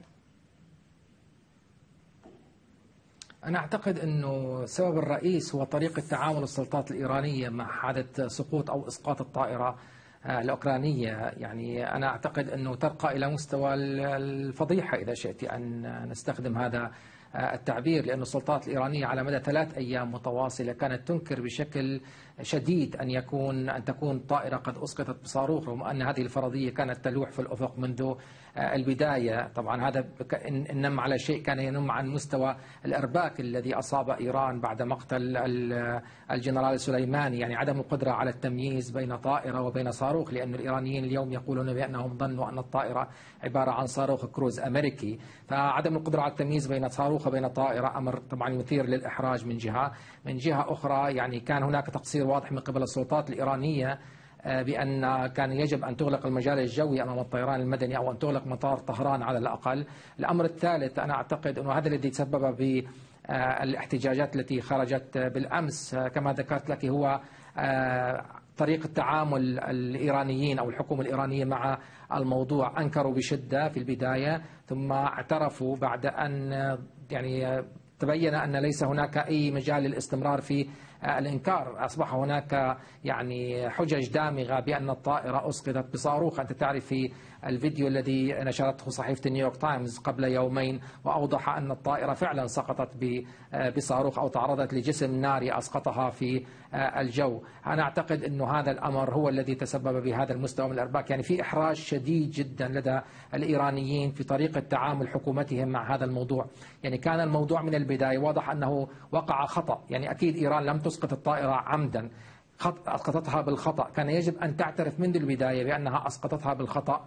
بدلا من أن تستمر في الإنكار على مدى كما ذكرت لك هذه الأيام الثلاثة. خرج المحللون والمسؤولون والسياسيين والعسكريين في إيران يتهمون الغرب بأن هناك محاولة لتشويه صورة إيران من خلال إلصاق تهمة إسقاط الطائرة بها. يتبين في نهاية المطاف أنه فعلا الرواية الغربية كانت أقرب إلى الصحة وبالتالي يعني الإنكار الإيراني كان حقيقة استمرار لعدم الشفافية في التناول كثير من القضايا ومنها طبعا وآخرها قضية الطائرة الأوكرانية. هذا ما قد يزيد بعزلة آه، إيران. دكتور مروان 72 ساعة مضت قبل أن تقر طهران بأنها بالفعل الطائرة خ- سقطت بفعل خطأ بشري. ما ستكون تداعيات آه، آه، هذه الحادثة بالقريب والبعيد على الداخل الإيراني على النظام الإيراني تحديدا دكتور مروان؟ يعني أنا أعتقد أن التداعيات بدأت تظهر بشكل واضح يعني منذ الساعات الأولى لاعتراف إيران بذلك. موجة الاحتجاجات يعني التي تأتي مجرد يعني بعد أقل من أسبوع أو حوالي أسبوع من مقتل الجنرال سليماني. أنت تعرفي أن النظام في إيران حاول استخدام مقتل الجنرال سليماني على نطاق واسع للحشد والتعبئة والتجيش خل- خلفه. أنت تعرفي أنه كان في مظاهرات أصلا في إيران في منتصف شهر نوفمبر الماضي. لذلك جاء موضوع أو مقتل الجنرال سليماني آه، يعني آه، إذا شئت يعني بشكل من الأشكال هدية للنظام لرص الصفوف خلفه ولإسكات أي أصوات معارضة. لكن للأسف يعني اللي حصل آه، للطائرة الأوكرانية قلب هذه الاستراتيجية رأسا على عقب. بدل أن تستمر هذه موجة الحشد والتعبئة والوقوف خلف النظام بدأنا نشهد أنه آه، حصول مظاهرات آه، نتيجة كما ذكرت لك سوء التعامل مع حادثة إسقاط الطائرة المدنية الأوكرانية. هلا على المستوى على المستوى القريب. بدأنا نشهد تداعيات مرتبطة بإعزوف كثير من خطوط الطيران العالمية عن استخدام المجال الجوي الإيراني. وسوف طبعا النظام يجبر أيضا على دفع تعويضات كبيرة لعائلات الضحايا الذين سقطوا في هذه الحادثة. إذا يعني أنا أعتقد تداعيات سياسية تداعيات اقتصادية تداعيات على صورة النظام في إيران في الداخل والخارج. أعتقد أن هذه الحادثة لا يمكن التقريب من أهميتها على الإطلاق. نعم دكتور مروان هذا مع العلم أنه إيران كانت تراقب الاحتجاجات بالداخل وأيضا بالعراق المجاور التظاهرات خرجت بالمثل ببغداد ومحافظات الجنوب. رفضا للهيمنة الإيرانية والهيمنة الأمريكية على حد سواء أي بصريح العبارة العراقيون وضعوا من يعتبرونهم ضد بلدهم الأمريكيين والعراقيين على نفس المستوى بما يسببونه بالداخل العراقي. أه، دكتور مروان ما ستكون تب- تبعيات ذلك؟ خاصة أنه بالعراق أيضا شهدنا هذه اللحمة بعد مقتل الجنرال قاسم سليماني على الأراضي العراقية أه، قبل أكثر من أسبوع ببغداد. يعني أولا الأسباب التي أدت إلى خروج المظاهرات في مدن العراق الجنوبية وفي بغداد ما زالت قائمة يعني لم لم تختفي لم تتغير. مقتل الجنرال سليماني ربما أثار حالة من الخوف بأنه قد تؤدي إلى نشوب حرب في المنطقة. هذا أدى ربما إلى تراجعها واستغلال طبعا حلفاء إيران في العراق لهذه الحادثة في محاولة لقمع حركة الاحتجاجات المستمرة من حوالي آه، ثلاثة أشهر. لكن العراقيين برأيي يعني من جهة أخرى آه، لا يريدون لبلادهم أو هذا ما أوضحته لهم حادثة مقتل الجنرال سليماني بأنهم لا يريدون لبلادهم لا يريدون للآخرين أن يحولوا بلادهم. أقصد إيران والولايات المتحدة لا يريدون أن يحولون بلادهم إلى ساحة صراع بين آه، البلدين. طبعا هذا يعني بمجرد آه، أنه آه، يعني صار في مجال لأن يعبروا عن رأيهم. مرة أخرى بهذا الاتجاه خرجوا بهذه المظاهرات رافضين أن تتحول آه، أن يتحول العراق إلى ساحة صراع إيراني أمريكي من جديد لأنه أنت بتعرفي قتل الجنرال سليماني على أرض عراقية والرد الإيراني جاء على قاعدة عين الأسد وفي أربيل على أرض عراقية وبالتالي هم يرفضون أي نوع من أنواع التدخل الوصاية الحسابات التي يمكن أن تصفى على حساب هؤلاء العراقيين. وما نعيشه حاليا دكتور مروان هل هي استراحة محارب التقاط أنفاس قبل بدء مرحلة جديدة من التصعيد بين الجانبين؟ كيف تفسرون هذا الحدوء الحذر بين الجانبين المتقاتلين على أراضٍ عراقية ألا وهما الجانب الإيراني والجانب الأمريكي على حد سواء هلا الواضح يعني بعد ما حصل بعد تطورات الأسبوع الماضي كان واضح إنه الطرفين صعدوا إنما صعدوا وفق حسابات حسابات كل طرف. كان واضح أيضا بأنهما لا يريدان الذهاب إلى مواجهة شاملة، لا يريدان الدخول في حرب مباشرة، لا الرئيس الأمريكي في مزاج لدخول مثل هذه الحرب لأنه أمامه انتخابات صعبة هذا العام ولا يريد أن يعني يذهب إلى الانتخابات بعكس الوعود التي قطعها للأمريكان وهو الانسحاب من العالم، عدم التورط في مشاكل، عدم التورط في حروب جديدة، وهو الذي لام أسلافه على يعني صرف مليارات وبل بل, تريليونات الدولارات على حروب غير مجدية كانت بالنسبة للولايات المتحدة الأمريكية. النظام الإيراني من جهة أخرى يعرف بأن أي حرب أو مواجهة شاملة مع الولايات المتحدة لن يستطيع أن يربحها على الإطلاق بل ستكون لها نتائج عكسية عليه في ظل وضع داخلي صعب جدا وفي ظل يعني فجوة تزداد بين الشارع من جهة وبين النظام من جهة أخرى لأسباب مرتبطة بالاقتصاد تحديدا ومرتبطة بإدارة شؤون الدولة وتدخلاتها الإقليمية من جهة أخرى وصرف الموارد الإيرانية على مشروع يعتقد الإيرانيون أنه يعني لا يعنيهم بل يزيدهم عزلة في الإقليم والعالم ويكبدهم خسائر اقتصادية هم أولى بالحصول عليها. إذا طرفان حقيقة الأمر لا يريدان مثل هذه المواجهة. لكن أنا أعتقد بأنه سوف يستمر حالة التصعيد أو بالأحرى سوف تستمر حالة التوتر المحسوب بينهما في المنطقة. يعني اليوم نشهد يعني مزيد من العمل العسكري على حلفاء لإيران في الساحة السورية. يعني فجر الجمعة مثلا وقعت غارة يعني كبيرة على قافلة لأحد الفصائل الحشد الشعبي التي كانت تنقل أسلحة ومعدات من العراق إلى سوريا وأدى إلى خسائر كبيرة في صفوفها. إذا مثل هذه الحوادث سوف تستمر برأيي لكنها كما ذكرت لك على الأرجح لن تؤدي إلى مواجهة شاملة بين الطرفين. وما سيكون عليه مصير قرار إخراج القوات الأجنبية من العراق؟ خاصة أن الرئيس الأمريكي تهدد العراقيين لن نخرج قبل أن تدفعوا لنا أموال مقابل قاعدة عين الأسد الجوية الأمريكية بالأنبار. وقال إن لديه هذه الأموال خاصة الودائع العراقية الموجودة بالمصارف الأمريكية. يعني أنا أولا يعني قبل حادث اغتيال سليماني أنا أعتقد أن الرئيس الأمريكي لم يكن لديه مشكلة كبيرة مع خروج القوات الأمريكية. يعني تعرفي أنه هو أصلا من أنصار سحب القوات الأمريكية من أنحاء مختلفة من العالم لأنه هذا يقلل من الكلفة على الولايات المتحدة. هو ينظر إلى أمور طبعا كما تعرفين من منظور اقتصادي تجاري بحت. لكن بعد حادث اغتيال سليماني والتوتر الذي تصاعد مع الولايات المتحدة الموضوع اختلف لأنه أصبح كأنه هناك موضوع تحدي بين الطرفين. الولايات المتحدة الأمريكية الآن أصبحت تريد الاستمرار في العراق يعني لا تريد الخروج من العراق بل تريد الاستمرار بالعراق. وأنت يعني كما ذكرت هناك تهديدات من قبل الولايات المتحدة بأن العراق ربما يجب أن يدفع تكاليف الوجود الأمريكي أو البناء القواعد. الأمريكية في العراق قبل أن تفكر الولايات المتحدة، لذلك أنا أعتقد الموضوع سوف يكون معقدا أكثر تعقيدا مما يبدو. دكتور مروان سؤالي الأخير وباختصار شديد لو سمحتم، هذا التصعيد الأمريكي الإيراني هل يمكن أن يتحول حلحله بأزمات عده تلعب إيران دورا فيها؟ الأزمة الحكومية بلبنان، الأزمة بسوريا، ولا نغيب أيضا الأزمة الحكومية بالعراق على حد سواء. أنا لا أعتقد أن هناك حلحلة أنا أعتقد أن هناك مزيد من التوتر على كل هذه الجبهات. هذا الصراع سوف يستمر برأيي حتى الانتخابات الأمريكية. عندها يعني إذا إذا حصل ترامب على ولاية جديدة سوف ربما يعني نشهد بعض الحلحلات. أما من الآن حتى الانتخابات الأمريكية فأنا أعتقد أنه لن يكون هناك حلحلة في أي من هذه الملفات. نعم دكتور مروان قبلان مدير وحدة تحليل السياسات في المركز العربي للأبحاث ودراسة السياسات. شكرا جزيلا لكم على هذه المشاركة. كنتم معنا مباشرة من العاصمة القطرية الدوحة. شكرا. شكرا دكتور مروان. مشاهدينا إذا ما عرضناه للضوء كان آخر تطورات التصعيد الأمريكي الإيراني. لكن العالم شهد أيضا بالأسبوع الماضي تطورات عدة على الصعيدين الدولي والعربي. نتابعها معا في هذا التقرير.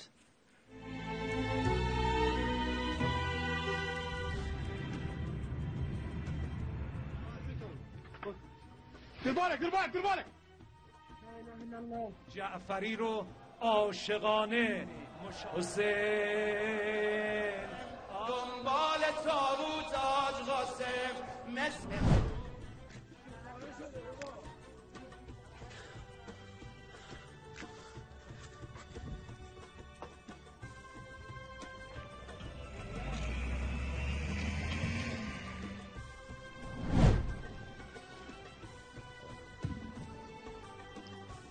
بسم الله الرحمن الرحيم.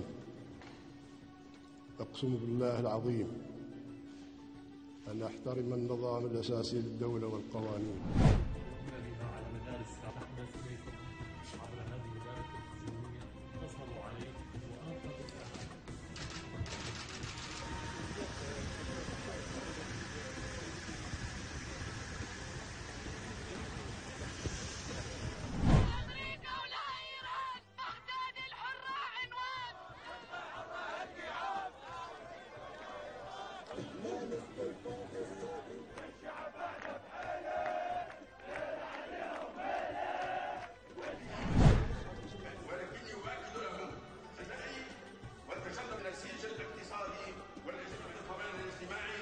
مكافحة الفساد ومحاربته هي كفاح وحرب من أجل دولة نظيفة.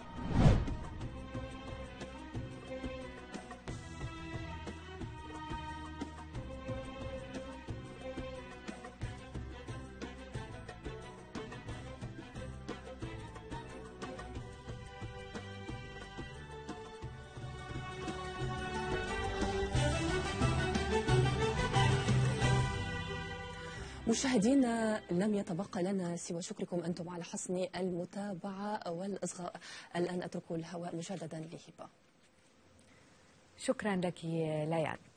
يعتبر الكولاجين أساسيا لتعزيز الأوعية الدموية وإعطاء الجلد مرونته وقوته. فما هو الكولاجين؟ وما هي العلاقة بينه وبين البشرة وكيف تعززه؟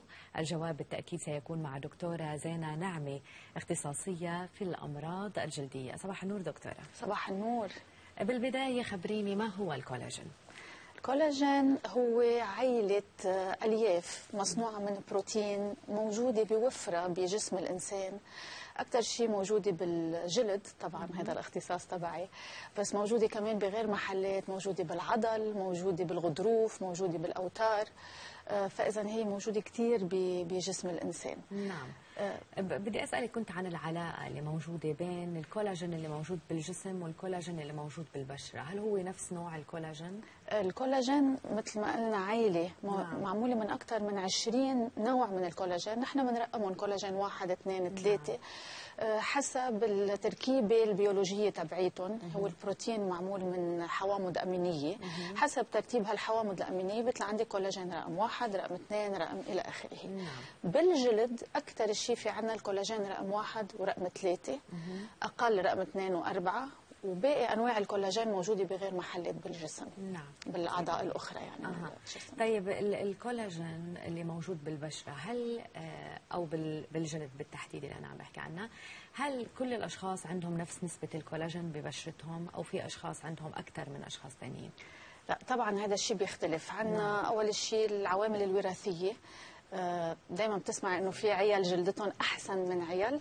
طبعا لأنه وراثيا عدد حزم الكولاجين يلي موجوده بالجلد ممكن تكون أكثر ولكن إذا أنت سؤالك اثنين من نفس العمر حدا جلدته أحسن من من حدا. في كثير عوامل بتأثر على عدد و ونوعية الكولاجين يلي موجودة بالجلد. إذا بدك فينا نحكي عنها وقت اللي بدك يعني.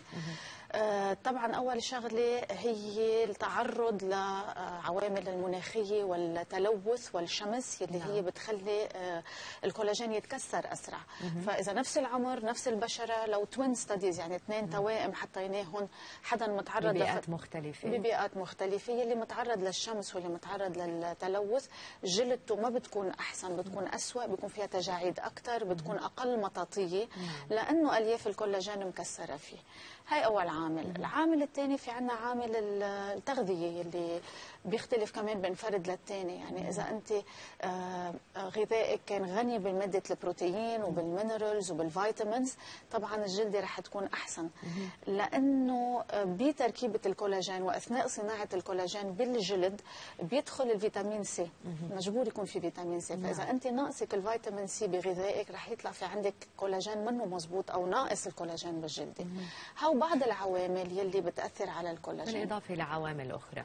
طبعا طيب تعزيز الكولاجين بالجسم عن طريق العوامل الغذائية اللي أنت تحدثتي عنها نعم. شو الأشياء اللي لازم السيدة أو حتى الرجل لأنه هلأ صار يهتم ببشرته كمان أكثر من صح. السيدات عم نلاقي شو هي الأشياء اللي لازم يركزوا عليها خلال طعامهم بوجباتهم الغذائية المتنوعة بالدرجة الأولى البروتين مادة نعم. البروتين يلي موجودة بوفرة بكل اللحوم نعم. ان كان لحوم حمراء أو البيضاء حمراء أو بيضاء أو دجاج ان كان موجود بالبيض وفي عنا إذا حدا ما بيحب أو vegetarian نباتي ما بياكل لحوم طبعا في الحبوب الغنية بمادة البروتين لأنه هن اللي بيعطوا حوامض الأمينية اللي بتتكسر بالجهاز الهضمي بترجع بتمرق ب- بالدم وبتوصل نعم. على الجلد لصناعة الكولاجين فاذا البروتين بالمادة الأولى بالدرجة الأولى بالدرجة الثانية ال minerals وال- وال vitamins مثل فيتامين C مثل الزنك الزنك آه،. ومثل ال copper هدول. كمان آه، لازم يكونوا موجودين كرمال صناعة كولاجين جيدة نعم. هدول هن المواد الأساسية لصناعة الكولاجين عم نروح على الصيدليات نعم. صرنا عم نشوف إنه في مياه غنية بالكولاجين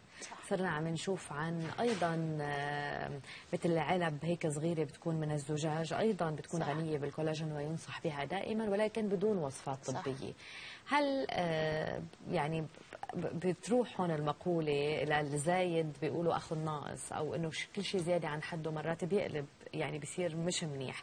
هل الكولاجين بكثرته مفيدة؟ يعني أي شخص في ياخذ كولاجين من غير من غير أي فحص طبي؟ شوفي هبة هلأ اللي بدي احكيك إياه في شيء بيست على مستند على العلم وفي شيء مستند على خبرة شخصية ورأي شخصي إذا نعم. بدك. علميا إذا أنت رح تاخذي بروتين أكثر بأي شكل اخذتيه إن كان عبر الغذاء أو عبر الكولاجين يلي اخذتيه بهال powder أو بالسائل بالمبدأ هو لازم يتكسر بقلب الجهاز الهضمي يرجع يطلع. وتاخذيه أنت إذا بحاجة لبروتين إنك تنتجي مادة الكولاجين رح ينتج مادة كولاجين. ولكن إذا أنت عم تاخذي كل غذاكي من آه، من من الأكل منك مضطرة تروحي لهدول ال powders وال solutions اللي موجودين على صحيح. ال market صحيح. في دراسات ولكن دراسات كتير صغيرة وفيها كتير شوائب وأغلاط وعلامات استفهام منها أنه عدد ال- المشتركين فيها صغير أو ما في كنترول لعوامل أخرى مثل الغذاء ومثل العوامل المناخية. بتقول أنه إذا تناولتي هدول ال- المكملات الغذائية جلدي رح تتحسن رح يصير فيها رطوبة أكثر رح يخف التجاعيد ولكن ما عندنا إثباتات علمية دقيقة بعد بهذا الموضوع. يعني أنت ما بتنصحي فيها هي ال- المياه اللي فيها كولاجين ال- الغير هي ما عندي إثبات علمي حتى الكبسولات لا لا ما نعم. عندي شيء علمي استند عليه ولكن بقول إنه لو اخذتيها ما راح تضر. بس كمان هن كتير غاليين وفي يعني صحيح. مكلفين صحيح. فأنا برأيي لا نروح على غذاء أحسن على نركز على أنواع الأغذية المتنوعة أكثر من إنه نروح على السبلمنتس اللي بعد ما أثبتت فعاليتهم طيب ال- يعني الحل عندك أكيد مش تناول المياه الغنية بالكولاجين أو غيرها صح. من الحبوب. ولكن ربما الحقن يعني هذا ما تنصحين به؟ هلا مع الوقت الكولاجين بخف بالجلد صناعة الكولاجين بتخف التكسير بيكون زاد ولكن نحن بدنا نجي نرجع نعبي مطرح الكولاجين يلي راح. إذا بدنا نحكي عن كولاجين حقن كولاجين الحقن كان رائج كتير بالثمانينات وبالتسعينات وشوي بالألفين آه، ولكن خف كتير. ليه؟ لأنه الكولاجين اللي موجود بحقن هو أصلا جاي من الحيوان. هو كولاجين حيواني أصله بيجي من البقر ممكن يعمل آه، رد فعل كتير عكسي عند الإنسان ممكن يعمل ألرجيز حساسية. حساسية. ومشان هيك السيدة كان لازم تجي على العيادة نعمل لها فحص نرجع نشوفها بعد يومين نرجع نشوفها بعد أسبوع. إذا ما عملت آه، أي رد فعل ممكن ساعتها نحقنها. so الأشياء فيها آه، تعقيدات. تعقيدات. زائد إنه الكولاجين الحقن بيعطي شوي قساوي منه لين ومنه مرن. مم. ما بيعطي شيء natural طبيعي اللي هي الست هلأ صارت بتحب إنه يكون أكثر وأكثر فصرنا نروح أكثر لحقن آه، مادة الحامض الهيالورونيك يلي هو ال hyaluronic acid يلي هي آه، أول شيء مصنعة لكثير شبيهة للحامض الهيالورونيك اللي موجود بجلدتنا. ما في risk إنك تعملي آه، رد فعل غريب عليها. فيها لها أثار جانبية؟ آثارها الجانبية إذا استعملت مضبوطة جدا جدا جدا قليل. بتعطي شكل أريح بتعبي المحلات يلي يلي ناقص منها الكولاجين. وال plus يلي فيها الزائد يلي فيها إنه مجرد ما حطيناها بعد عدة أسابيع بتنشط وبتحفز إنتاج الكولاجين so بصير في عندك بعد نتيجة أحلى بعد عدة أسابيع من الحقن جميل نعم. يعني أنت بتنصحي بال hyaluronic acid أو حمض الهيالورونيك أكثر من آه، حتى آه، الكولاجين أو أي آه، صح. يعني محلول آخر يتم حقنه صح. كيف بيتم الحقن ولم أي أعمار الحقن بيتم بالعيادة كثير سهل. هن الأبر بيكون نحن بنجيبهم معبيين خالصين مصنعين. نعم. بأكيد بننظف المنطقة الجلد اللي ناقصة الحمض الهيالورونيك. نحن فينا نشوف إنه بيكون في خفسات بيكون في ترهلات أو تجاعيد صغيرة. وبينحقن مطرح ما آه، ناقص ال- أو مطرح ما في تجعيدة يعني. نعم. النتيجة بتكون دغري مثل ما قلنا في نتيجة دغري بنشوفها وفي نتيجة بعد شهر اللي هي بعد بتحسن أكثر وأكثر وقد إيه بيضل آه، بضل تقريبا بين 8 أشهر لسنة في إشياء بتضاين تقريبا سنة ونص ولكن كمان هيدا بيتكل على كثير إشياء. بيتكل على نوعية الحقن على آه، يعني نوعية الحقن اللي عم نستعملها على آه، الحياة المريض اللي نحن عم نحقن يعني إذا حدا بيعمل كثير رياضة وبيتعرض كثير للشمس ومدخن وطبعا ما الكمية بتروح أسرع أكتر. ما بتضل أكثر بينما إذا بتهتمي ببشرتك بتنامي ما بتتعرضي للشمس بنروح أكثر صوب السنة سنه ونص حتى كمان. طيب لمشاهدينا ومشاهداتنا. من أي عمر بيقدروا إنه يتوجهوا؟ أو هو موضوع بيتعلق بالشكل؟ يعني شو اللي على أساسه الشخص بده يتوجه لعند الطبيب أو نعم. الطبيبة المختصة بالجلد ليحط الهيالورونيك اسيد آه، اولا بدي أقول إنه ما في علاقة ابدا للعمر. يعني ممكن يكون في حدا عنده تجعيد لأنه بينام كثير على خد أكثر من خد. فاذا العمر ما له علاقة. فينا نبلش بعمر ال20 فينا 30 فينا 40 السبب الرئيسي اللي الست أو ال- الرجال بيتوجه عند الطبيب هو لما نفسيا بحس إنه في شيء غلط. مش مرتاح. مش مرتاح. في شيء ناقص أو في شيء بدنا نظبطه أو في شيء بدنا نعدله. وهلأ صار حامض الهيالورونيك بس مش بس بنستعمله لحتى نعبي. نحن حتى نجمل. اللي ناقصة شوي بالخدود نرفع لها نتفي خدود ناقص نتفي شفاف بنعبي شفه حتى الأنف أوقات إذا في تعرجات صرنا عم نعبي هالتعرجات لحتى آه، ما يتوجهوا على العملية. نقدر نصلحها بشيء كثير بسيط أبو 10 دقائق بالعيادة يعني. نعم. وغير قابل للخطأ يعني الطبي هذا الموضوع؟ آه، كل شيء قابل للخطأ الطبي طبعا مم. ولكن لما الإنسان بيكون متمرن كثير وعارف ال anatomy عارف ال آه، يعني تحليل الجسم. يعني بتعرف إيه. الجسم وين موجود وين موجود كل شريان وين موجود. الخطأ الطبي بيصير تقريبا غير موجود. نعم. ولكن لو أنا أمسك إبري ما بعرف وين عم شك وشو عم شك. ممكن فوت بشريان سبب انسداد بشريان. ممكن نعم. الجلد تموت ممكن حتى في حالات عمى يعني أنا عم بقول. على كمان على آه، مثلا كثير بنلاقي من الأشخاص اللي بيعملوا الحقن بيكون مثلا عندهم خد أكبر ربما من خد نعم. أو مثلا آه، يعني بتلاقيه مثلا تجعيده انشالت بينما تجعيده ثانية بعدها موجودة آه، اولا في صعوبات طبعا في محلات بتكون أصعب من محلات مشان هيك في تجعيدة بتروح تجعيدة بتعذب أكثر خد أكبر من خد هو أشياء يمكن الكمية اللي انحقنت بمحل شوي أكثر نعم. وهو كل الأشياء بتتصلح يعني الكمية اللي بتنحط فيها تتذوب أو مم. فيها تنزاد يعني. هودي أشياء كثير سهل إنه نقدر نصلحهم نعم. طالما ال- material يلي عم نستعملها هي material قابلة للذوبان صحيح. وقابله إنها تاخذ وتعطي معنا بدي أشكرك كثير دكتورة زينه نعمة اختصاصية بالأمراض الجلدية. شكرا لك. شكرا لك. إذا مشاهدينا دعونا نذهب إلى فاصل قصير نتابع بعده الجزء الأخير من صباح النور. ابقوا معنا.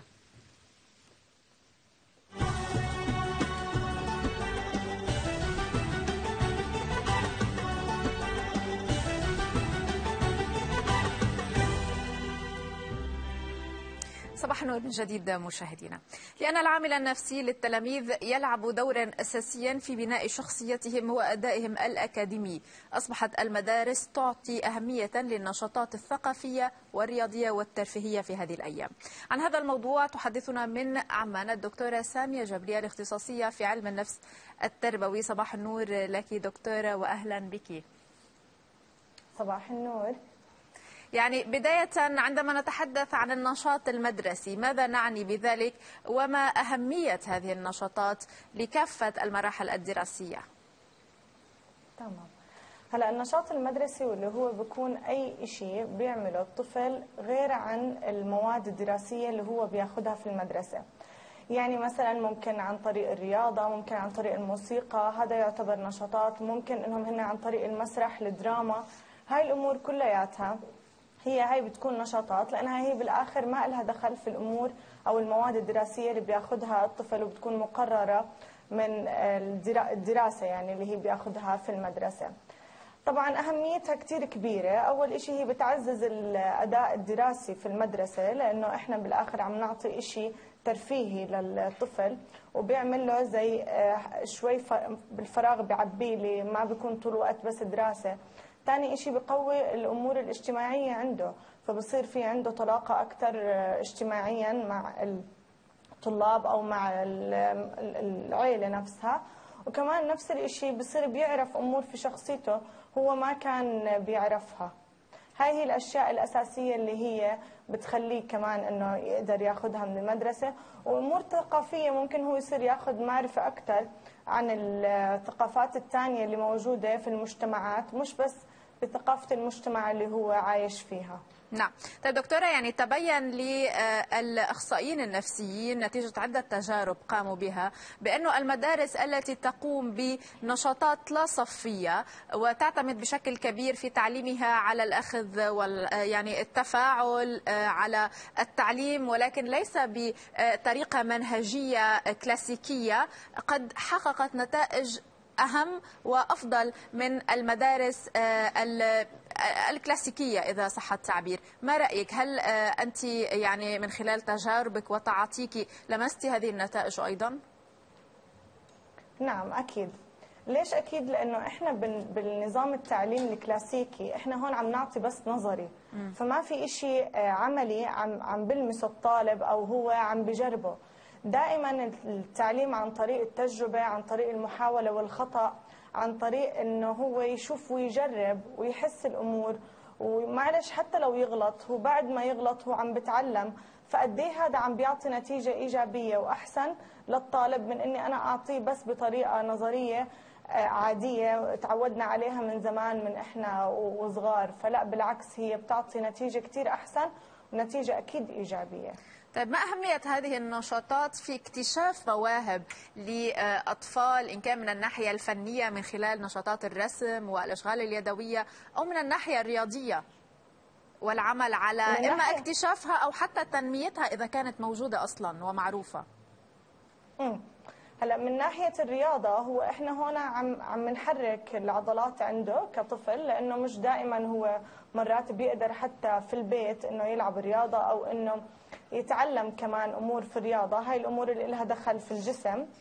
ثاني إشي عن طريق الرسم أو عن طريق الموسيقى هو هون بيكتشف موهبة عنده. هاي الموهبة هو ما بيكون عارف أصلا إنها هي موجودة عنده لأنه طبعا كمان في البيت الأهل مش حيقدروا يكتشفوا موهبة الرسم عنده أو موهبة الموسيقى عنده. فلأنه المعلم ببلش يعلمه الرسم ببلش يعلمه الموسيقى فهو بيكتشف هذا الإشي عنده. وبيعرف إنه هو في عنده موهبة ما كان يعني مدركها أو عارف إنها موجودة. فطبعا هاي المواهب بتعلي أكثر من ثقته بنفسه بت بت بتصير هو يهتم بهاي الأمور أكثر غير عن الدراسة. وبيعرف إنه بالآخر هو عم بينتج في شيء ثاني غير عن الدراسة. ممكن كمان هو بال- بالمدرسة العلامات عنده مش كتير عالية بس بهاي الأمور الثانية هذا بيعمل عنده توازن أنه أنا حتى لو بالمدرسة ما عم بجيب آه، علامات عالية في المواد بس أنا هون عم بنتج كمان في مواد ثانية ومبدع فيها طيب دكتور وبيأثر عليه طبعا بطريقة كتير إيجابية نعم, نعم. أيوة. طيب دكتورة يعني آه، كلنا تعلمنا بمدارس عربية ونلاحظ بأنه ساعة الترفيه اللي كان ساعة الرياضة أو ساعة آه، الرسم أو الرياضة هي ساعة بالأسبوع. يعني إذا أردنا أن نجمعها ربما هي ثلاث ساعات في آه، خمسة أيام كاملة وهي نسبة قليلة آه، جدا. مع العلم بأنه حتى العلامات درجات العلامات متدنية ولا تحتسب آه، بشكل جدي. ما أهمية هنا المدارس ووزارات التربية بتحديث المناهج وإعطاء أهمية أكثر لهذه ال- النشاطات؟ لتكون على محمل الجد أيضا لأنه في أشخاص ما بياخذوا على محمل الجد كما نعلم. أكيد. هلأ هي لازم تتاخذ على محمل الجد لأنه بالآخر إحنا لما بدنا ننتج آه، طالب أو جيل جديد هذا الجيل لازم يكون في عنده آه، أمور تانية مهتم فيها غير الدراسة لأنه إحنا كل ما نمينا الموهبة عند آه، الطفل وكل ما عملنا له فراغ كساعة كل يوم مش بالأسبوع هو هون قاعد عم بيعمل توازن عنده ليش؟ لأنه إحنا هون عم نعطي لإله موهبة عم بتعلمها وبنفس الوقت عم نعمل التوتر اللي عنده عم بفرغه بهاي الموهبة. عم عم بي عم بيعطيها وقت أطول من ما إنه بس هو طول الوقت آه، بس عنده دراسة وخايف من المدرسة وعنده قلق بس إنه بده يجيب علامات عالية وبده يكون معدله كتير عالي وفي تنافس في الصف طول الوقت. لا لما إحنا نروح نشتغل على المواهب عند الطفل ونعلمه أمور تانية اجتماعية هو أصلا ما عم بتعلمها في الدراسة قديش هذا مهم لإله؟ طبعا لا بالعكس لازم إحنا نهتم أكثر في هاي الأمور ولازم نزيد هذا الإشي في المدرسة بكل المدارس طبعا لازم يكون لأنه هذا كتير آه، إيجابي وكتير بيأثر على شخصية الطفل حتى آه، لما يخلص آه، مدرسة. يعني حتى في أمور بسيطة مثل إنه يوقف قدام الصف ويحكي البرزنتيشن هذا مش كل الطلاب تعلموا في المدرسة صحيح. لما يفوت على الجامعة هو ما بيقدر يعمل هذا الإشي وكثير بيكون خايف من هذا الموضوع فقد إيه إحنا لازم ننمي هاي المهارات عندهم الاجتماعية ومهارات إنه يوقف قدام الطلاب ويصير يكون قادر يحكي أو إنه يحكي مع الطلاب نعم. ويكون اجتماعي أكثر نعم. أكيد لا هذا كثير مهم. طيب دكتورة يعني نحن نعيش بزمن السوشيال ميديا أو وسائل التواصل الاجتماعي والآيباد وأطفالنا يستعملون هذه المنابر والآلات لساعات طويلة جدا. ما أهمية هذه الأنشطة ب يعني تقوية التواصل مع الأطفال الآخرين بنسج شبكة علاقات اجتماعية مع الآخر بالمجتمع اللي هو المدرسة. هلا وسائل التواصل الاجتماعي أو كل الأمور اللي لها دخل بهاي بهذا الشيء هي مش كتير إيجابية للتواصل الاجتماعي لأنها هي بالآخر بتقلل من ال- ال- الصدق في تصرفاتنا والصدق في شخصيتنا. نعم. لأنه إحنا بنصير نقارن نفسنا كأطفال أو كمراهقين بالمراهقين اللي زيهم مثلا من عائلات تانية من أصدقاء. فبصير بده يمثل أمور بشخصيته هي مش موجودة. فلا يفضل إنها تقل هذا الموضوع ويزيد عنا الرفاهية اللي بتكون موجودة في نعم. المدرسة إن كانت حصص الرياضة حصص النشاطات حصص الفن الرسم إنه يعبر عن هاي الأمور عنده أو الدراما كمان اللي موجودة آه، في المسرح قديش هاي كمان بتصير هو تعلمه كيف إنه هو يعمل شخصيات عادي هو حابب يعملها يعبر أحيانا عن ذاته. وعن مشاكله نعم. أحيانا أو هوسه اذا الدكتوره سامية أكيد. جبري اختصاصية في علم النفس التربوي شكرا جزيلا لك. حدثتنا من العاصمة الأردنية عمان. شكرا لكم. أهلا بك. ومشاهدينا ننتقل إلى شيف راسم وهبة لمشاهدة محصلة طبق اليوم. شكرا لك راوية وشيف يعني مع الأطباق الشهية خلينا نعرف المحصلة المحصلة خبرنا. كانت مم. آه، مثل ما ذكرنا بالفقرة الأولى عملنا بطاطا الدوفينواز بالكريمة أو بالحليب مع الجبنة نوعين من الجبنة وعملنا كمان أفخذ دجاج بطريقة مختلفة مشان ست البيت آه، تبعد شوي عن الفروج المقلي بس بالطحين أو المشوي أو يعني الكزبرة. نطلع من الأشياء اللي معودين عليها تقليدية تماما نعم. وكانت الحصيلة بهي النتيجة هي طبعا الشكل كتير بيلعب دور كبير. واضح. نعم. وقالت راوية اليوم إنه آه، ما فينا ناكل لأنه قلي. بس إذا شافت الأطباق بهالمنظر هيدا شو بدك تعملي؟ ضعيفة أمام المنظر. آه شيف آه الزينة اللي زينتها بس أخيرا خبرنا شو استخدمت؟ شو عندي هون شمندر. مسلوق. آه طحنته نعم. مع شوية آه مي سخنة لحتى يعطيني هيدا texture كتير طيب. نعم. طفت عليه عصرة ليمون حامض مع طبة خل صغيرة مع رشة فلفل أسود ورشة ملح طلع طعمته واو. جميل جدا. بدي أشكرك على هاي وسهلا. الشهية. شكرا لك شيف ومشاهدينا دعونا ننتقل إلى آه، تقرير. حيث يعمل 15 متطوعا أساسيا ضمن آه، جمعية سلالة من أجل إنقاذ الحيوانات الضالة في قطاع غزة. دعونا نتعرف على هذا التقرير.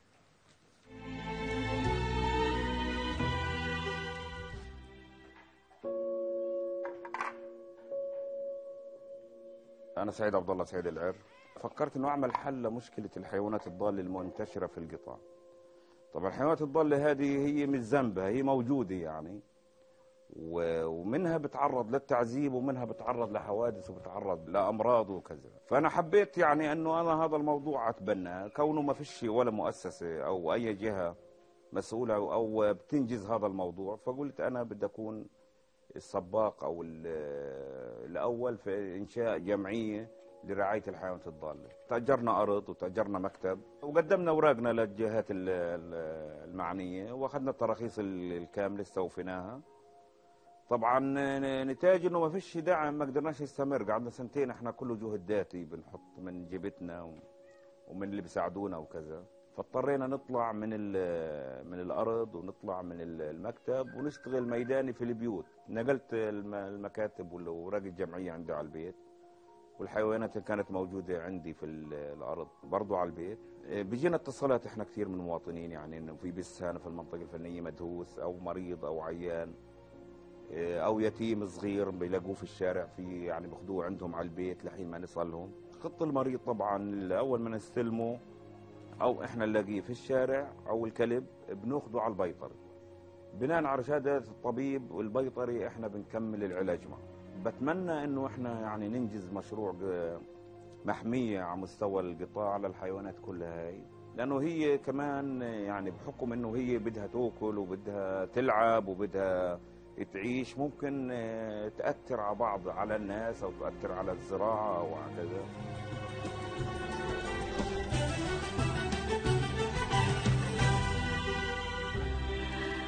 أهلا بكم من جديد مشاهدينا. يعني الختام يجب أن يكون آه، على آه، إيقاعات الدبكة. واليوم تحديدا الدبكة اللبنانية مع أنه ببلاد الشام بفلسطين. هنالك نعم، دبكة, دبكة. فلسطينية صحيح. بالأردن تختلف بسوريا يمكن اختلافات كثير قليله هلأ ولكن- رح نتعرف على هذه الاختلافات يا هبة. أكيد. آه، مع مدرب الرقص جوزيف سلوم.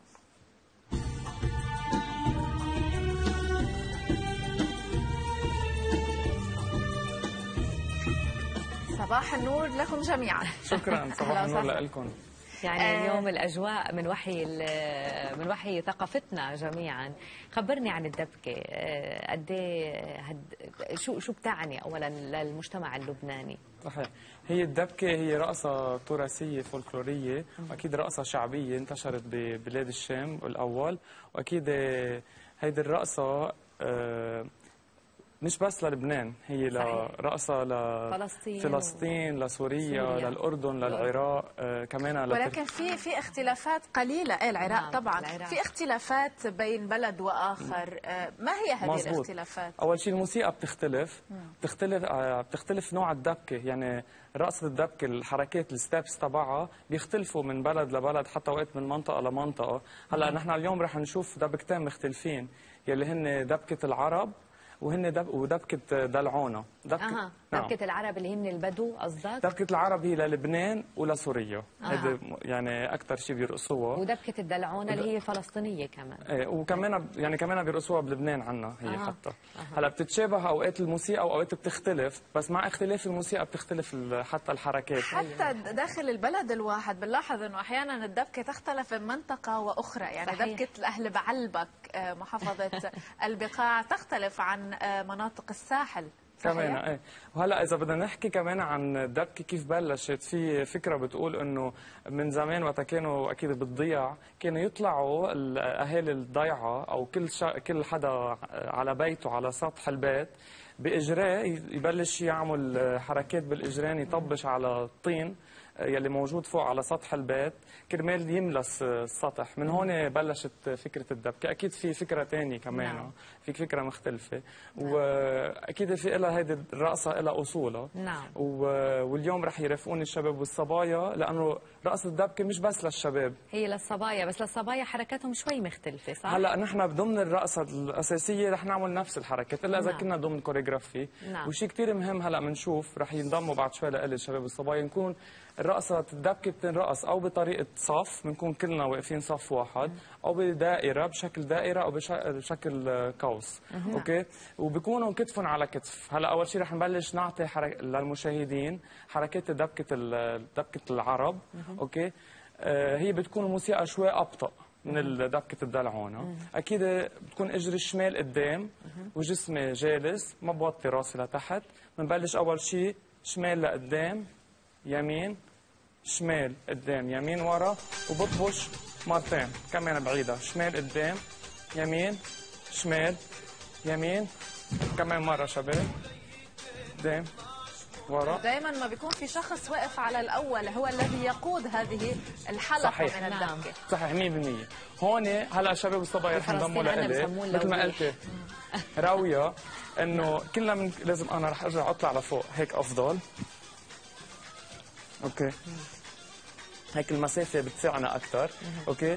آه رح نكون كتف على الكتف والشاب يلي واقف أول شيء أو بحق له شخصين يعني الأول والثاني هو يلي بحق له يفلت إذا بنقول. نعم. هو بيكون القائد أو ال leader بحق له يكون حركاته مختلفين عن باقي الأشخاص. نعم. أكيد مثل ما قلنا أنه إجري شمال قدام يمين آه، يمين ورا وقفتنا جالسة كتف على الكتف وأول شخص في يفلت أو الثاني هلأ كمان مثل ما قلنا إنه الدبكة بتنرقص بالمهر بدنا نقول للمشاهدين إنه بتنرقص بالمهرجانات بالاحتفالات بالأعراس وما بتخلى الدبكة من الإيقاعية يلي هن بيعطوا جو حلو ومميز لهذا الجو الدبكة. فرح نستقبل اليوم معنا فاليري رح ترافقنا آه بالموسيقى. طبعا لا تكتمل الدبكة من دون الطبل نعم. أكيد وعدد جميله اليوم. وعدد الدبيكه الكبير هو كمان يلي بيساعد. صحيح. سو اليوم للمشاهدين رح نتعلمنا دبكة العرب. هلا آه، أكيد آه، بنرجع بنعيد الموسيقى من الأول وكلنا بنعيش أجواء الدبكة. واحد اثنين ثلاثة.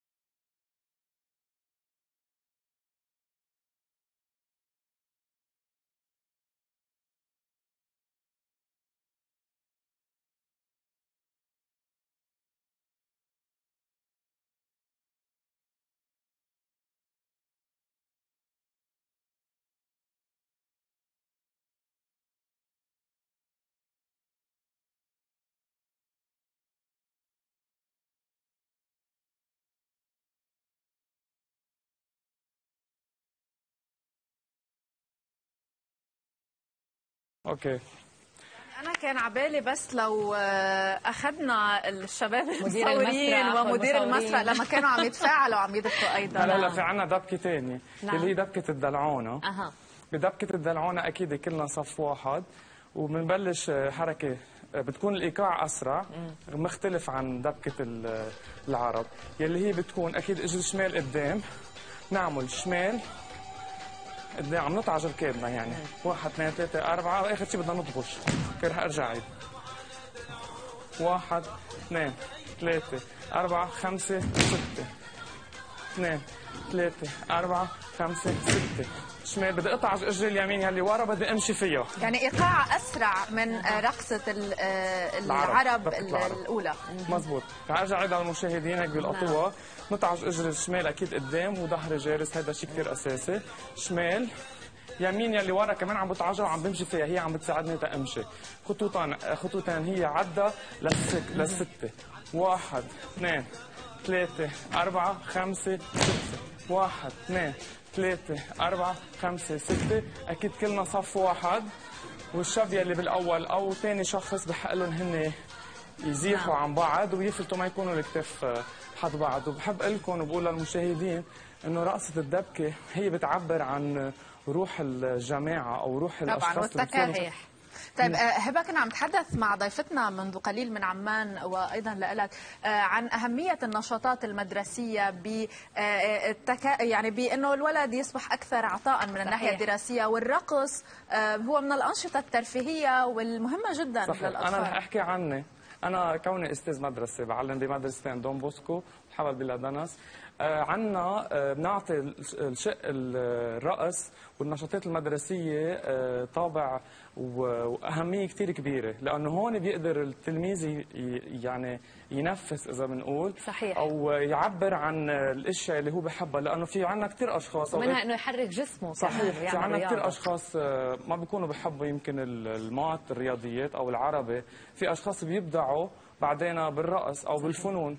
واصلا هيك هيك هو يعني مثل عم نعمل له رابط وشيء وثيق مع تراثه لأنه نعم. الدبكه هي شيء آه، تراثي ويجب المحافظه عليه. ومن هون عن جد لازم دائما ننصح الأهل بإنه يتذكروا هاي آه، الرقصات الشعبية لأنه عن جد يعني هي استمرارها باستمرار إحنا تعليمنا لأولادنا هيدي حضارتنا وتراثنا تعليم. الاساتذه ولكن بتعرف بدي اسالك بدي أقول لك شغلة إنه بفلسطين الدبكه جزء من اللي عملته هي كمان بيتبعوها بفلسطين ولكن في عندنا دبكة اسمها الواحدة ونص وثلاثة ما بعرف إذا أنت بتعرفها صح بالإجرين أكثر. اللي هي بالضبط بالإجرين. وأكيد أنتم موجودة عندكم يعني ولكن بيت بيعتمدوها أكثر يعني وفي أكثر من اسم للدبكة وأكثر من حركة. مضبوط ف- هي واسعة كثير كبيرة. المرة الجاية بدنا ن- ن- نتحدث عن الدبكة الفلسطينية وهبة بدها تشارك معنا شاء الله. أنا بشارك بالدبكه اللبنانية. بيكون الأزياء مختلفة كمان من محل تشبه بعض كثير شكرا لكم جميعا. نعم خلينا نشكره أكيد ونشكر ال- الفرقة. وبدنا نشكر مشاهدينا على حسن المتابعة. وراوية نراكم غدا مشاهدينا بفقرات جديدة ودائما عبر التلفزيون العربي. الختام بالدبكة. إلى اللقاء.